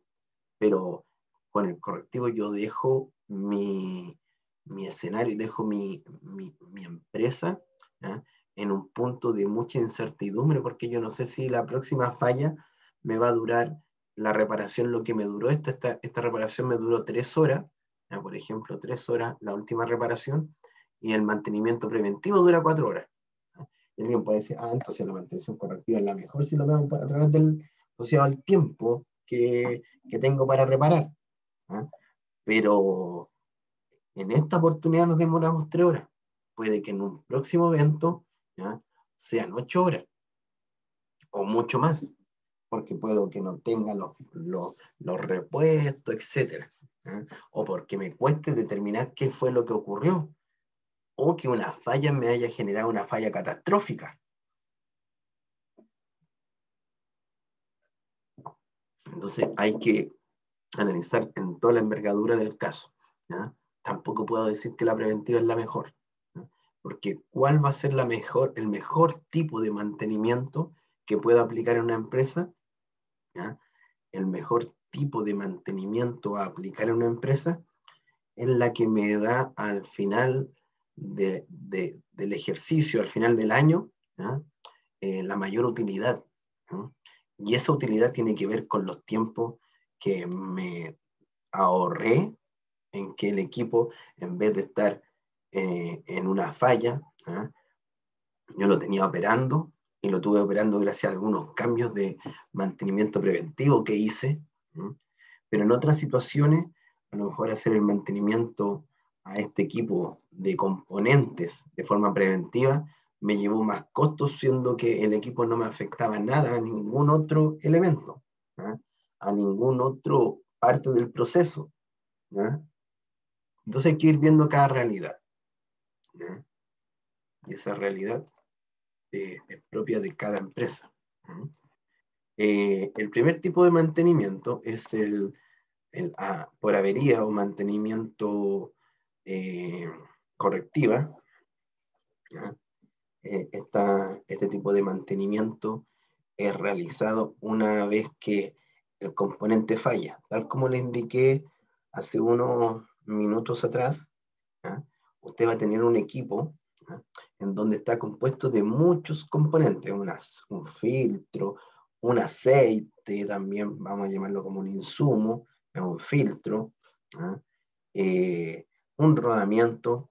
Entonces, sea el aceite, sea el filtro, sea el rodamiento, sea un eje, a través del tiempo, este elemento va a tender a desgastarse se va a desgastar a través del tiempo y va a llegar a una zona en donde la aceleración de ese desgaste es acelerado. ¿ah? Y eso significa que estamos llegando a su término de vida útil y aquí el componente falla. ¿ah? Si trazo una, una línea, voy a trazar una línea vertical, me voy a posicionar aquí, voy a preguntar en qué kilómetro fue, a los cuántos kilómetros de uso, a cuántas horas de uso, dependiendo cómo analicemos en esta empresa este tiempo. Aquí puede ser, no sé, 12.000 horas, a las 12.000 horas. Posteriormente usted lo cambió y el nuevo componente también funciona de manera muy bien, Y es más, a las 12.000 horas ningún síntoma me ha dado de que va a fallar. Y sigue, sigue, sigue, de repente empieza a darme síntomas y, una, y un desgaste acelerado hasta que falla. ¿ah? Si nosotros proyectamos esto ¿ah? y vemos en qué hora falló, falló a las 16.000 horas de uso. Y así también podría usted ver el, segundo, el tercero, lo mismo, lo mismo, lo mismo, llegamos a un punto, falla, visualizamos el tiempo ¿ah? y nos damos cuenta que ese está en 14.500. 14.500. Entonces lo que nos dice, lo que nos dice el mantenimiento correctivo, que usted utilizó ese componente toda, a lo largo de toda su vida. O sea, le sacó el máximo provecho a ese componente. No fue necesario haberlo sacado antes. Por ejemplo, alguien me puede haber dicho, profe, si lo hubiésemos cambiado a la 8000, nos aseguramos de que el componente nunca falle y al no fallar su, su, equipo no va a tener una falla imprevista, va a saber cuándo, cuando justamente usted lo quiere detener por otra acción, no sé, en un cambio de turno, yo voy a hacer esta mantención, que algunos le llaman una mantención oportunista, y ahí, en ese cambio de turno que dura media hora, actúo y cambio este filtro. Tuve que detener el equipo, no, para nada, aproveché. Pero el problema es que ese componente me pudo haber durado otras 4.000 horas de uso o, en este caso, hasta el doble. Pudo haber llegado a las 16 horas de servicio y sin ningún problema. Entonces estamos tomando un componente y cambiándolo por otro. Entonces lo que te empuja el mantenimiento correctivo a que tú vas a usar ese componente hasta el máximo. Pero no sé cuándo va a fallar. Y por lo mismo, la mantención correctiva no es programada. Yo no puedo saber cuándo va a fallar, por ende no la puedo programar. No la puedo programar. Si falla, puede ser una reparación urgente o puedo decir, mira, voy a esperar el cambio de turno y ahí mejor me dedico a, detener el equipo y hacer la reparación. Eh, puede ser planificado o no planificado. La idea que nosotros siempre trabajemos con mantenimiento planificado. Y ahí están ustedes para hacer ese ente creativo, ente que va a generar una planificación asumiendo los riesgos, por ende mm, siempre cautelando los riesgos de salud, de medio ambiente, de seguridad, de sus diferentes eh, redacción de procedimiento. Tal como indica aquí, para ciertos equipos puede resultar ser un tipo de mantención de alto costo. En cambio, para otro equipo puede ser el más conveniente desde el punto de vista de costo. Tengo que analizarlo. Todo se tiene que analizar. En esta parte explica lo mismo que yo le expliqué en el gráfico. En cualquier caso, este tipo de mantención presenta una ventaja de que el componente se aprovecha al máximo su vida. Utilizamos hasta los últimos minutos de vida que tenía su componente. Y eso es lo bueno.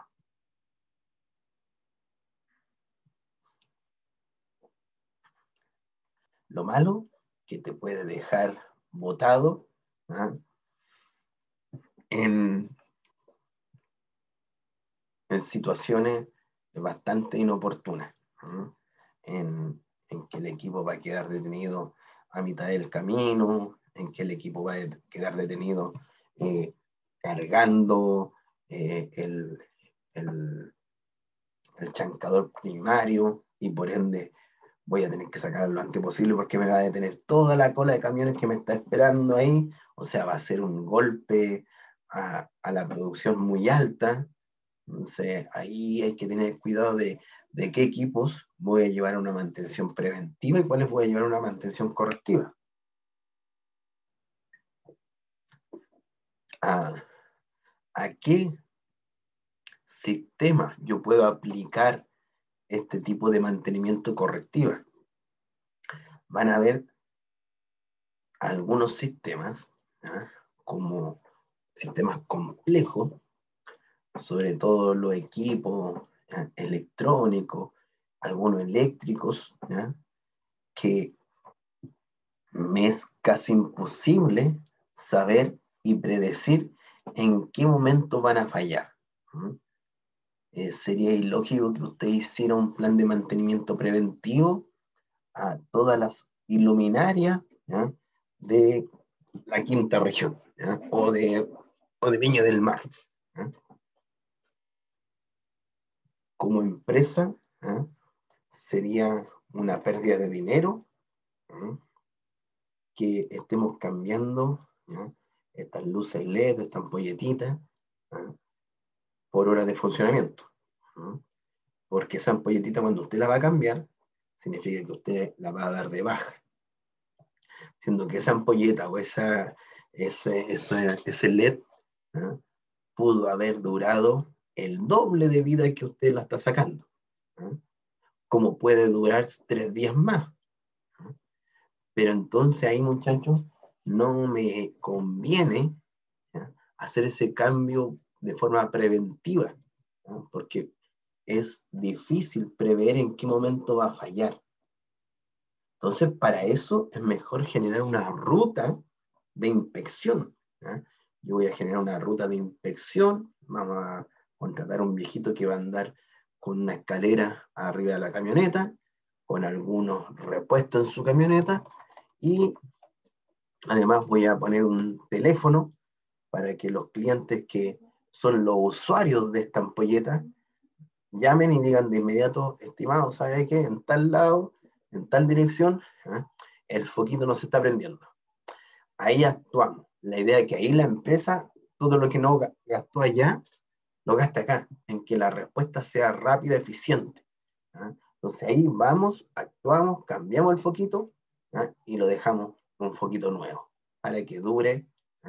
Y obviamente, como empresa, si voy a trabajar con un mantenimiento correctivo o mantenimiento por avería, yo necesito tener muchos repuestos en mi bodega, porque no me sirve decir, ah, gracias por el aviso, pero hoy día no lo vamos a poder cambiar porque tengo que ir a comprar, porque mañana me llega el cargamento de ampolletas. No, tengo que tenerlo, porque mi usuario va a tener una molestia, mi usuario va a poder hacer una demanda, mi usuario o mi cliente si ahora lo llevamos a la minería, por el contrato que firmé me va a poner una multa. O sea, quizás, muchachos, en, que la empresa de energía eléctrica mande a alguien a, arreglar el, evento, ¿ah? pase uno o dos días, no, no, no, van a dar tanta importancia, quizás, espero que sea una empresa seria. Pero en un contrato minero, como en el que hemos hablado, en contratos MARC, por ejemplo, eh, si yo no doy respuesta a una falla, significa que no voy a alcanzar la disponibilidad de flota que me exigen y me va a conllevar que voy a tener que pagarle una multa porque está estipulado en un contrato ¿ya? Eh, legalizado. Y no quiero pagar eso. Por ende, yo voy a mantener estos repuestos ahí muchos repuestos de este eh, componente que falla constantemente y que es difícil predecir cuándo va a fallar. ¿A qué otro elemento o qué otros componentes o equipo me permite hacer un mantenimiento correctivo? Son aplicables a sistemas que me permiten, que me permiten eh, interrumpir en cualquier momento. Por ejemplo, usted tiene un, un sistema de bombeo, ¿ah? un sistema de bombeo,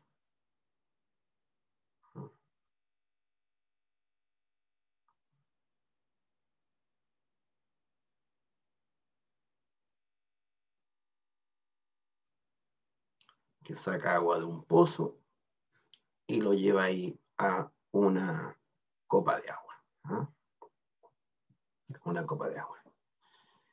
Para que el sistema funcione en buen, en buen servicio, yo necesito solamente uno, porque aquí tengo Q y aquí, me, aquí tengo que entregar Q. ¿ah? Y esta tiene la capacidad de Q, esta la capacidad de Q y esta la capacidad de Q. A esto le vamos a llamar un sistema en redundancia total o en paralelo total. ¿ah? Cuando veamos eh, disponibilidad y confiabilidad de sistema. Entonces, cada uno de ellos mm, por sí solo es capaz de generar la alimentación de ese fluido. Entonces, ¿qué pasa si falla la primera bomba? Yo genero que de inmediato comienza a funcionar la bomba 2. Por ende, esta bomba la lleva a un mantenimiento correctivo. Por ende, aquí digo, mira, esta bomba no va a fallar. Y si falla, tengo otra más. La tengo bien cautelado eso. Yo invertí mucho dinero al inicio en este proyecto porque puse tres bombas. Me hubiese salido la inversión más barata si yo hubiese puesto obviamente una. Pero tomé la decisión de tomar, eh, de, instalar tres bombas, a lo mejor cuatro. Don Mario, esa circunstancia nos jugó una mala pasada una vez, profe. Ah. Que había cuatro bombas de succión, pero para succión de víscera. ¿Ya? Y de la, habían cuatro bombas de succión que generaban vacío, están conectados los motores. Y de las cuatro bombas, en dos días se quemaron tres. Una fue falla natural, eh, otro fue descuido, y este, la tercera fue también por descuido de los operarios. Mira. Entonces quedamos trabajando a media máquina con la última bomba que queda. O sea, eso uno no espera que pase, pero podría llegar a pasar ya que hay un ejemplo claro de que ocurre. ¿ah? Entonces, pero es, difícil. Por lo mismo, cuando usted eh, el próximo semestre saque la confiabilidad del sistema o la disponibilidad del sistema, ¿no? por más que yo ponga muchas bombas, nunca voy a tener un 100% de disponibilidad ni un 100% de confiabilidad porque tiene que haber ahí un delta. ¿eh? Tiene que haber algo. Eh, ¿Por qué la confiabilidad? ¿Por qué la confiabilidad? Si yo pregunto la confiabilidad de, de las cero horas, es un 100%. La confiabilidad es la probabilidad de que mi equipo esté operativo en un tiempo determinado. La confiabilidad a las cero horas es un 100%. Obvio, si todavía no lo prendo, pero ya cuando yo enciendo el motor, o sea, al, segundo, no a la hora, al segundo, ¿ah? Ya voy a tener probablemente un 99,9999999%. ¿Por qué existe eso? Porque existe la probabilidad de que al dar el encendido falle. Aquí, tal como lo comentaba don Mario, existe la probabilidad, y a lo mejor alguien me puede decir, profe, esto es imposible que, que los tres equipos fallen. Es más, vamos a poner uno más, es imposible que fallen. No, existe una probabilidad. Y tenemos que ir buscando esas probabilidades, la vamos a ir a buscar en algún momento cuando calculemos la disponibilidad del sistema y esas cosas. Vamos a darnos cuenta que una podría generar, existe una de hecho, de hecho, profesor, la, la, las fallas las provocó tratar de arreglar, entre comillas, el problema, porque la primera eh, fue falla natural y el resto estaba, de las bombas estaban sucias. Así que enviaron a los de limpieza a limpiar las bombas. Pero fueron y limpiaron con hidrolavadora, entonces que entró el motor y provocaron un cortocircuito al, a la otra bomba. Y el otro día, como habían hecho un cortocircuito, optaron por colocarle bolsa con las bolsas al motor. Y las quemaron. Cuento corto, al otro día nos sacaron las bolsas. Ese que, oh. Entonces el motor lo sacamos a las 10 de la mañana, eran las 6 de la tarde y todavía sigue hirviendo el motor. De más, Para que vea.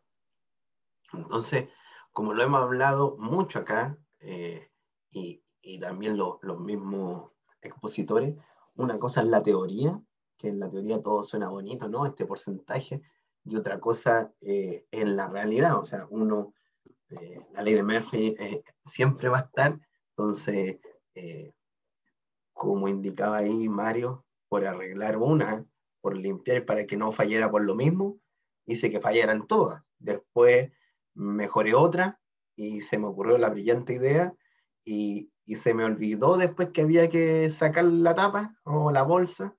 Entonces ocurre eso, ocurre y por lo mismo, el, por lo mismo siempre se indica que el mantenimiento no se sigue una receta.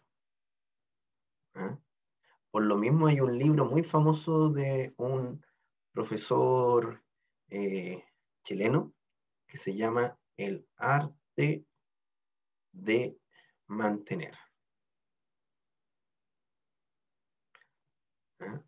Es un libro gratuito de Rodrigo Pascual, ¿ah?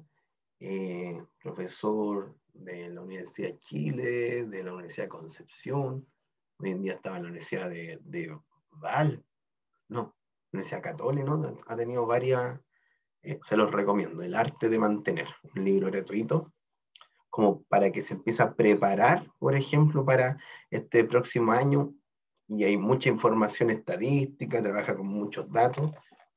Yo tuve la suerte de, de que, de participar en un curso que hizo él, con, no sé si ustedes conocen al profesor Félix Pizarro, parece que todavía no le ha hecho clase al profesor, el profesor Félix Pizarro.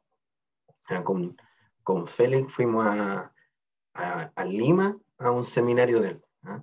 Y, muy interesante. ¿ah? Hizo todo un barrio de, todos los eventos ¿ah? que se pueden dar y, la importancia de, llamar arte a la mantención y no seguir una receta. Porque si seguimos una receta, eh, pasan estas cosas. Entonces, de cierta manera, lo que le pasó a Mario no significa que no puedan seguir trabajando con un mantenimiento correctivo con sus bombas. ¿ah? Solamente que ahora van a aprender de esos errores. Ahora todo eso lo van a llevar a un, procedimiento. ¿ah? Ahora cuando se le ocurran ir a lavar eh, con la hidrolavadora, ya van a bajar de inmediato el procedimiento y van a decir, estos son los pasos que hay que seguir ya. Se tapa y después antes que entregar, vamos a ir a hacer un checklist de entrega en donde, a ver, están con las tapitas, están con las bolsas, eh, no, no están con bolsas, ya, perfecto, ahora no vamos a cometer el error. Eso no significa que no vaya a volver a ocurrir un error grave, ¿ah? porque si solamente me preocupo de lo que pasó ¿ah?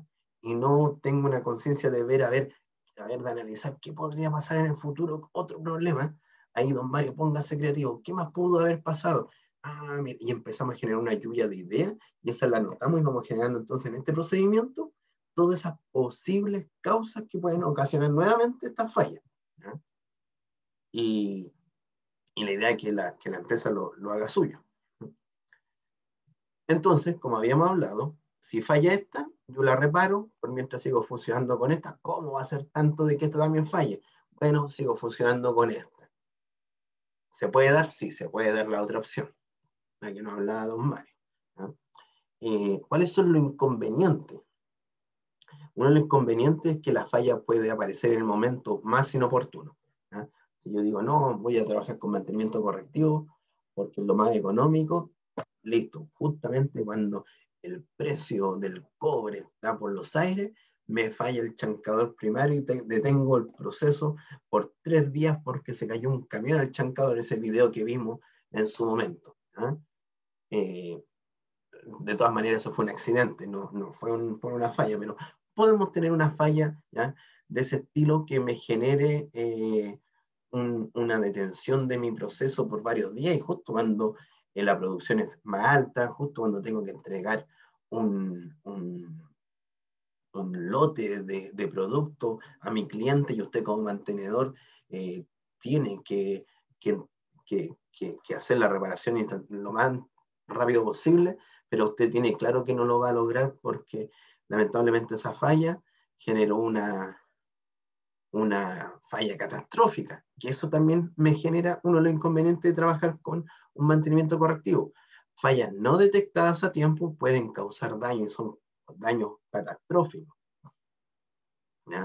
Por ejemplo, eh, el accidente eh, de, algún trabajador, problemas de, algún daño medioambiental, eso me puede conllevar eh, al trabajar con un mantenimiento correctivo. Por ende, muchas empresas deberían trabajar con un mantenimiento preventivo por obligación o por ética. Y no existe el 100% esa ética en, el 100% de la empresa y por ende el Estado, y aquí no lo, no lo marco como, como un gobierno de turno, sino que el Estado se tiene que preocupar de poner leyes para algunos, eh, para algunas empresas que son críticas, que deberían desarrollar mantenimientos preventivos o una gestión de su activo de forma eh, de ley, por fuerza de ley. La que yo les comentaba de, de todo este tema de, generación eléctrica, distribución. Las la empresas petroquímicas tienen, nos llevan mucho adelanto, mucho tiempo adelantado ahí, ¿ah? pero más las de otros otros países. Aquí igual hay que eh, enfocar en algunas empresas ¿ah? esa labor. Eh, inconvenientes irreparables. Eh, en, por otro elemento, yo no puedo reparar este, este equipo usando otro elemento. Y lo más, y uno de los temas más críticos, muchachos, es este. Este es el gran inconveniente que tiene el mantenimiento correctivo. Como yo no sé cuándo va a fallar, ¿ah? como no sé en qué momento va a fallar, podría fallar en cualquier instante. ¿ah? Y por lo mismo, tengo que tener un stock de muchos repuestos preparado para dar respuesta en frente de alguna falla. Entonces voy a necesitar una gran, gran, gran bodega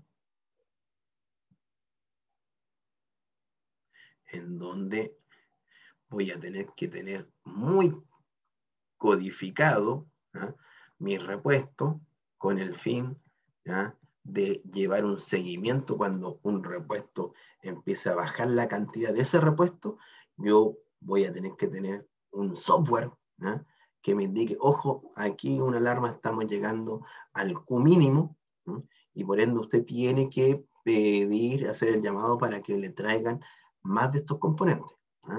Hay,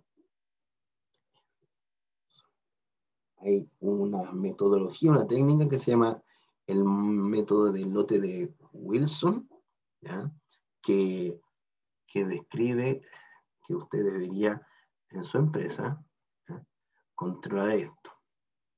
Yo voy a hacer primero el, el gráfico de sierra. Vamos a indicar cuáles son los ejes como siempre en nuestro eje X, el tiempo, y aquí la cantidad. Y por cada, y por cada repuesto específico, ¿ah? yo tengo que hacer este seguimiento.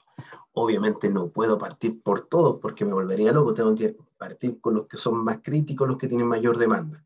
Y eso ya me da una respuesta. Tengo que conocer la demanda de mi repuesto. Tengo que saber cuántos repuestos yo, me, yo consumo diariamente ¿ah? de X repuesto, por ejemplo, filtro. ¿Cuántos filtros yo consumo durante, soy una empresa de buses, ¿ya? ¿Cuántos filtros utilizo ¿ah? diariamente?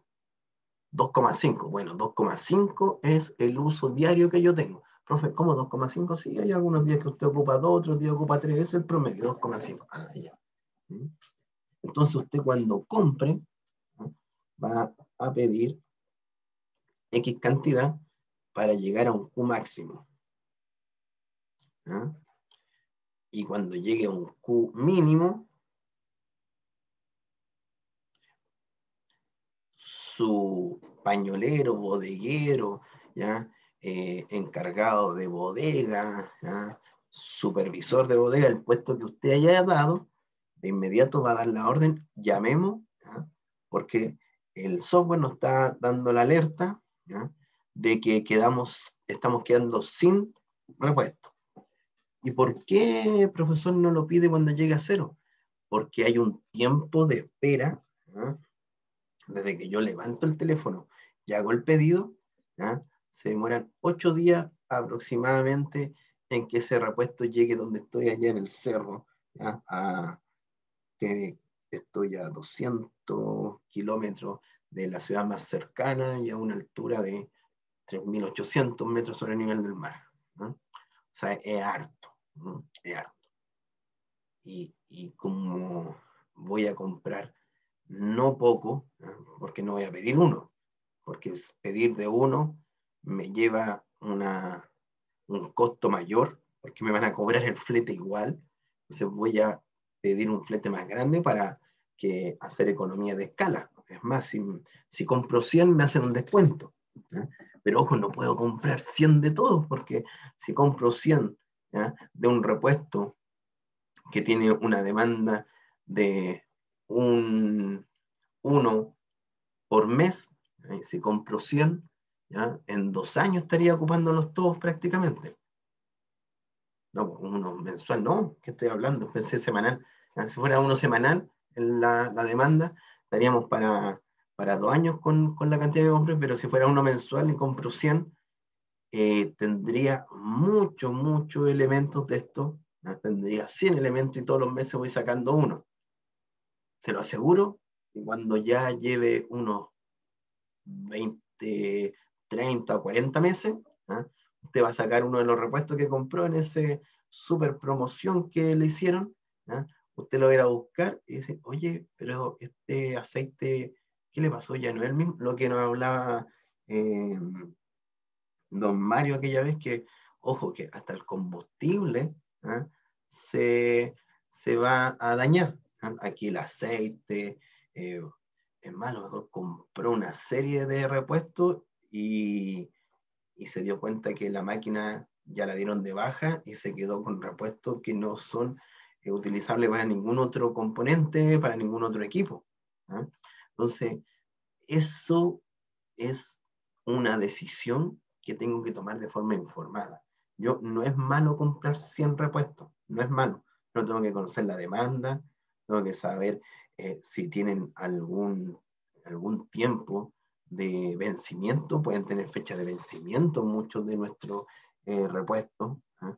No así como un alimento, pero sí eh, se pueden degradar y otro tiempo, otra cosa, que si yo mantengo muchos elementos en bodega, está la otra parte, que muchos prefieren no decirla, pero va a haber también la posibilidad de que haya un robo por parte de, de muchos entes dentro de una organización. ¿ah? Eh, desde, desde, arriba hasta abajo, en muchas organizaciones, oye, necesito esto para, eh, oye, viejito, ¿sabéis qué? Eh, llama el supervisor, ¿por qué no, no, no me guardáis uno de estos que justamente la bomba de, de, la piscina me falló, entonces necesito una motobomba, ¿por qué no me la arregláis? Tema así, ¿ok?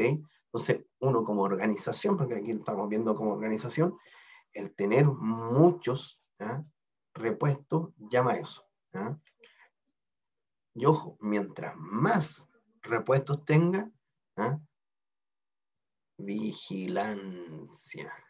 Yo voy a tener que gastar en vigilancia. ¿no? sé ¿qué pasa si se enciende porque tiene algún elemento inflamable ahí, se le quema todo? ¿Va a perder? Sí, entonces mm, un seguro, tengo que pagar un seguro. ¿ah? Y ese seguro tiene una prima. Todos los meses tengo que pagar por esa prima. Esa empresa que me va a asegurar lo que tengo allá me va a venir hacer un inventario de todo lo que tengo, decir, mira, usted tiene aquí 3 millones de dólares en repuesto, por ende, eh, les voy a cobrar unos 200 mil pesos mensuales Por, por el seguro. Ah, listo, pero es dinero que tengo que estar ahí. Entonces, un mantenimiento correctivo me lleva a tener un gran capital Si hago un mantenimiento preventivo, ya puedo estar manejando un poquito más los tiempos. No significa que no vaya a tener una bodega para un mantenimiento preventivo, pero ahí voy a tener que tratar de trabajar con este just in time. Es decir, mira, en la próxima semana necesito hacer estos trabajos, estas labores, por ende, como sé que se demora ocho días, y si me pongo a hacer este, esta tarea de mantenimiento cuatro días antes y me pongo a planificar y a programar esta tarea cuatro días antes, voy a, voy a tener un fracaso. Por ende, mensualmente vamos a ver qué hay que hacer en el mes y probablemente mensualmente voy a ver qué tengo que hacer este mes y el mes que viene y el próximo mes. Ustedes van a ser de ese, de ese tipo de personaje que van a estar preveyendo cómo se viene el futuro, cómo se viene el próximo mes, en dos meses más, en tres meses más, en cuatro meses más, y es más, cuando usted le piden el presupuesto, no le van a pedir el presupuesto de un mes, le van a pedir el presupuesto anual. Por lo mismo toma mucha fuerza la confiabilidad y la tasa de falla acumulada, porque con esto uno va a poder hacer un buen presupuesto. Cuando tengan esa asignatura, que no sé quién se la hará, se van a acordar de mí ¿Por qué? Porque con esto, si yo conozco la confiabilidad de mi equipo, voy a saber cómo puedo presupuestar para el próximo año. Les va a servir mucho esto. ¿ah? Entonces, si yo pidiese acá, ¿ah? voy a estar ocho días sin repuesto y voy a tener ocho días algunos equipos detenidos. ¿Por qué? Porque no tengo repuesto. ¿Qué van a hacer? Oye, vamos a buscar este que este equipo tiene una producción más baja, saquémosle estos componentes y agreguémosle a este que está de mejor manera, tiene un mejor performance. Entonces nosotros no tenemos que llegar a eso, no tenemos que llegar a que nuestra bodega esté cero. Entonces aquí vamos a darnos un, un, ítem de seguridad. Ese es un como mínimo, que, que, siempre esté en bodega y, y, asociado a la bodega que haya una buena rotación también. No vaya no vaya a comprar una serie de, de aceite y los va poniendo en orden, alguno al fondo, y cuando ya se da cuenta, oye, me estoy llegando con, me están quedando 10 eh, tarritos de aceite y lleguen los nuevos, y los que quedaron atrás sigan estando atrás y usted vuelva a poner los nuevos adelante, y así los de atrás ya llevan 5 años. Entonces esos 5 esos cinco años que estuvo ahí ese aceite ya, ya fue. Entonces hay que tener esta rotación. Y ojo que eso uno lo aprende de la, de la señora del negocio, que tiene ahí unos productos, unos, unos yogur a la venta, y la señora siempre te da, eh, me da este yogur, no, déme el de adelante, no, mi hijo, tengo que darle el de atrás, porque ese son tan a punto de vencer, pero no ha vencido. obviamente, un, producto que no ha vencido, pero no te va a vender el que recién llegó, porque ella lleva ese, ella ya aprendió ya, ella ya eh, cayó con algunos que se le vencieron por no tener este orden. Esto pasa lo mismo en estas grandes bodegas. Entonces, una vez que usted compre, una vez que usted compre, se vuelve con un cubo óptimo, un cubo óptimo, se vuelve a llenar su bodega y a través del tiempo se empieza a consumir hasta llegar nuevamente a un punto, usted llama, vuelven a traer la serie de eh, eh, repuestos, insumos, lo que fuese, pueden ser pernos, pueden ser mallas, pueden ser filtros, etc. Carros de aceite, y así es un proceso continuo. Y por lo mismo, en la mantención eh, correctiva, conlleva muchas piezas en esto.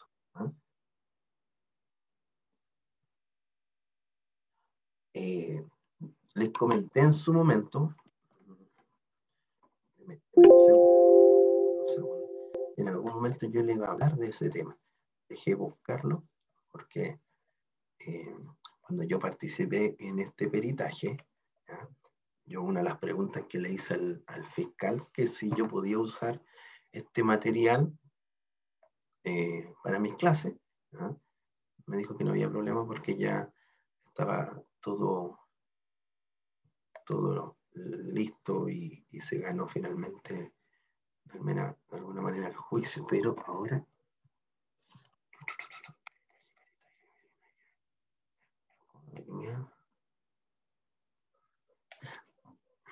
aquí en proyectos propios. Ah, ya, no, lo llevé a proyecto USM.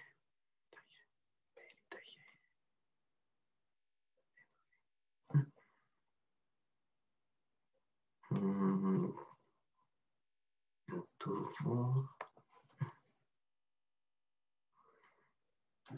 ver, déjeme buscar acá. Eh, peritaje. Aquí, aquí lo tengo. No sé en qué carpeta lo dejé. Pero lo encontré. Entonces, ojo que es una, una asignatura que se llama mantenimiento de equipos mineros, pero los buses también son un, un equipo que presta mucho servicio a la minería, porque si no, no, llegarían los trabajadores. Y como, como tal, como lo, lo, lo indiqué en, en, el Congreso cuando me tocó exponer este tema, eh, apoyando a la, a la, agrupación de víctimas fatales de accidente turbú, eh, que en Chile las buenas prácticas que hay en la, en la, minería asociado a esto no, no se ha copiado, el Estado no ha copiado esto para el día a día.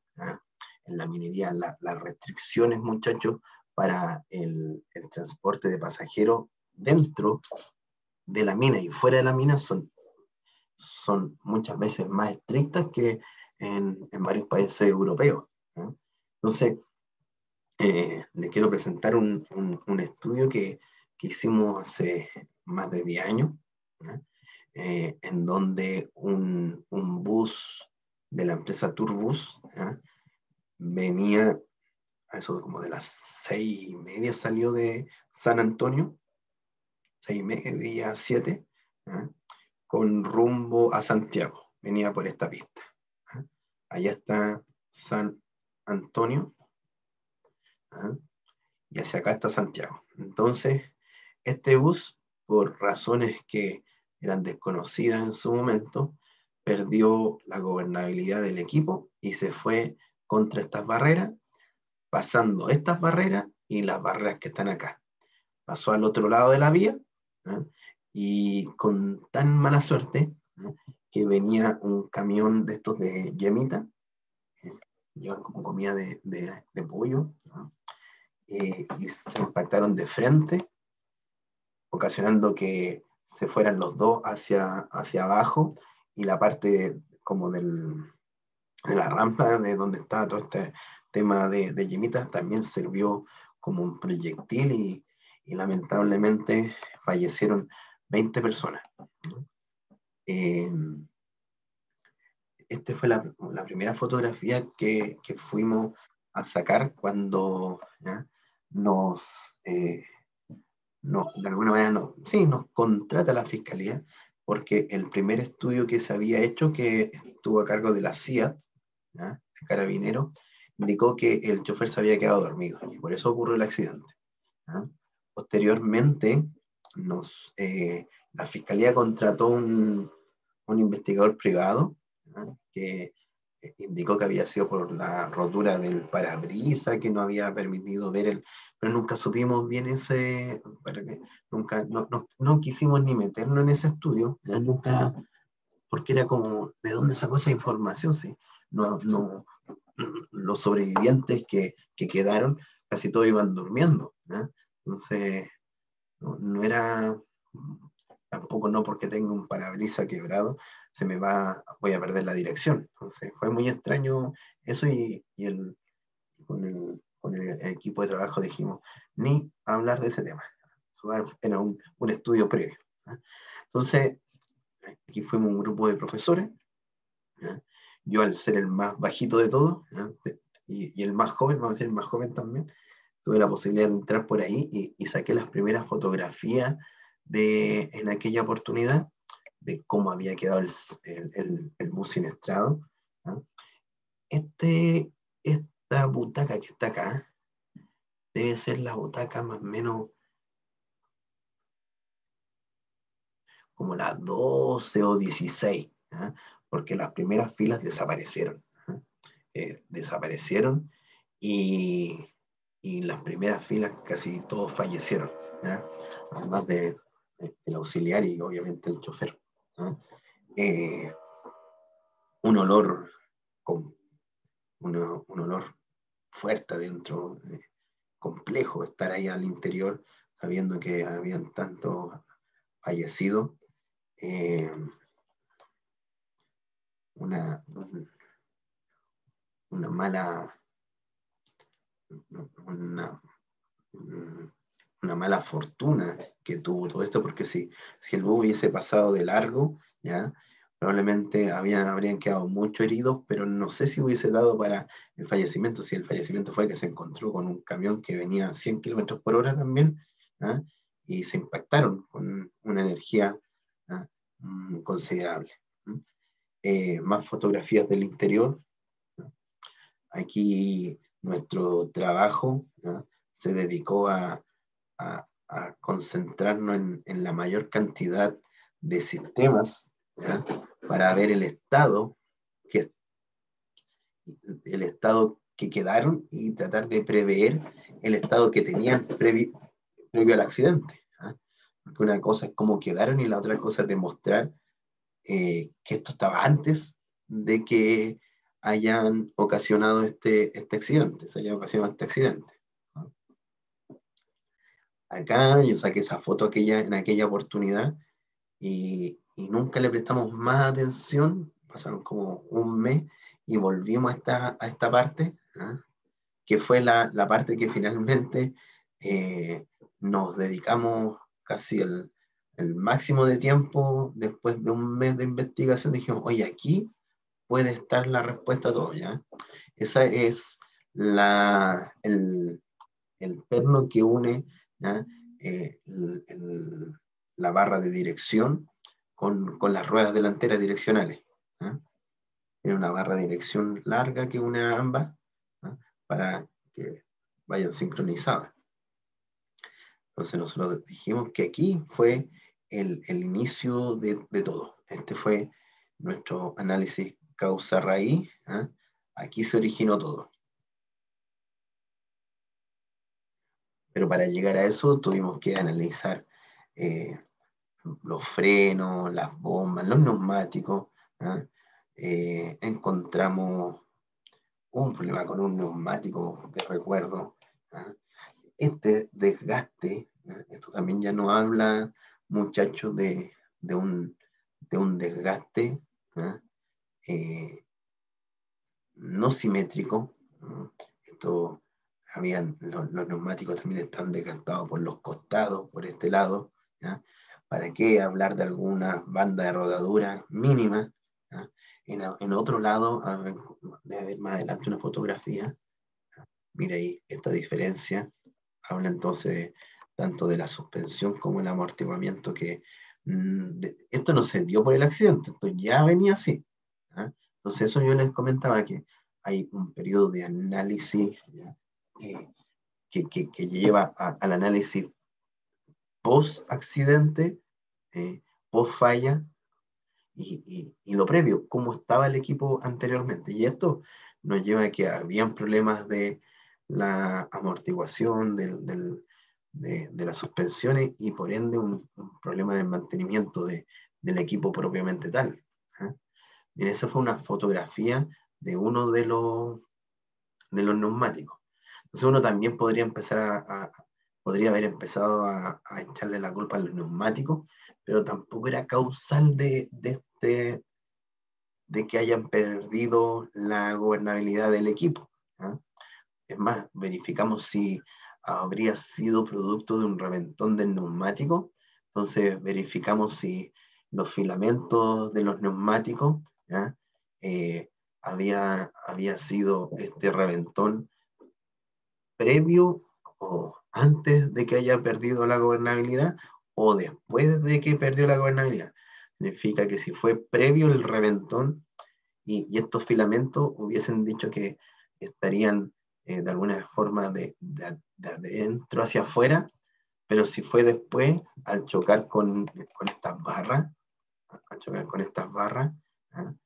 Eh, con estas barreras, y con cada pilarcito que aparece ahí, se, se enfrentó el neumático contra eso y por ende se cortó. Entonces, nosotros llegamos al acuerdo de que, y, y nuestra investigación llegó a la conclusión de que ese, ese corte del neumático fue después de. Y,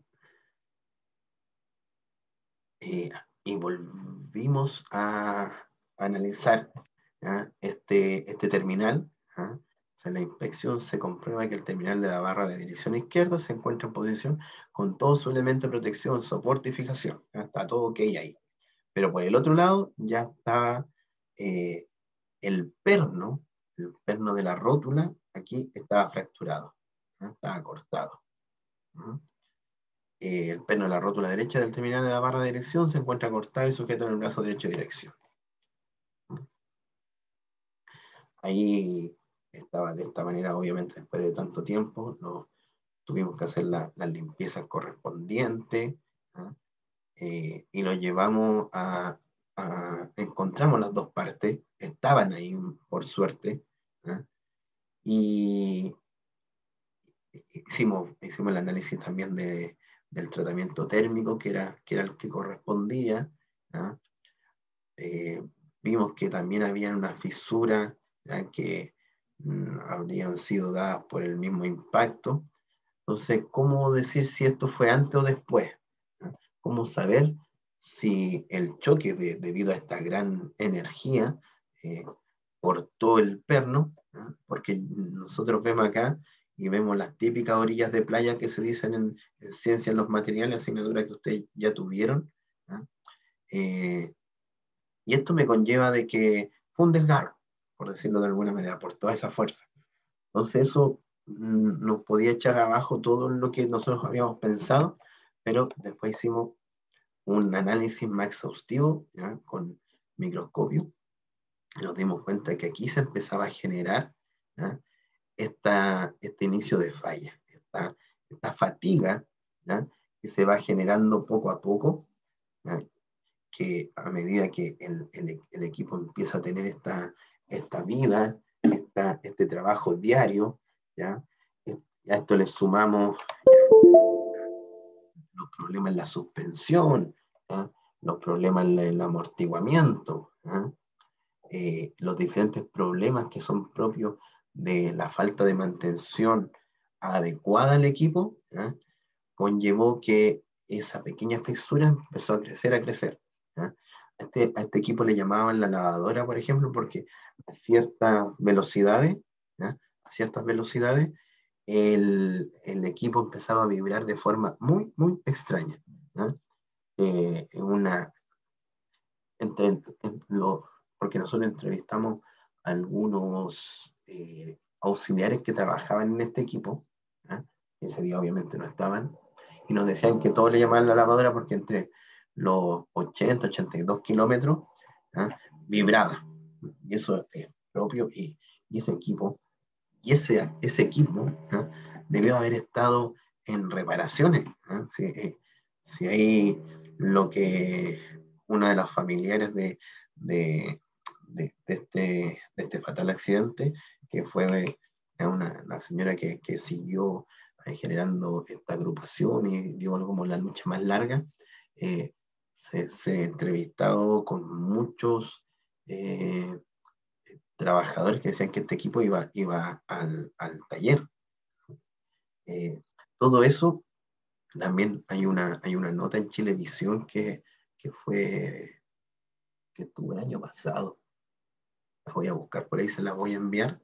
Ahí aparecen todo lo que se hizo, ahí obviamente con todo el tema de los familiares, y ahí se ve claramente eh, que este fue el inicio de esta fatiga, que después obviamente mi, mi perno eh, fue diseñado para soportar cierta carga, ¿ya? pero con cierto diámetro. Y ustedes tienen claro que el tau es igual, ustedes ya tienen elementos de máquina o resistencia a materiales, ¿sí? El tau es una, una fuerza dividido por un área de corte. Si yo voy disminuyendo, si yo voy disminuyendo esta área, ¿qué pasa con el esfuerzo? Aumenta. Y, mi material tiene un esfuerzo admisible o máximo, ¿ya? que tiene cierto valor que es dado por el material. Pero si yo disminuyo eh, el área, empiezo a aumentar y aumento y sobrepaso este esfuerzo eh, intrínseco del material y no me va a resistir. Y, eso finalmente ocurrió porque la fuerza se mantuvo. A nosotros la fuerza se mantuvo. Obviamente después que ya eh, vino el impacto, pero, pero al principio fue este, este corte debido a, este, este corte de perno debido a, esta falla en, el, sistema, dada por esta fatiga.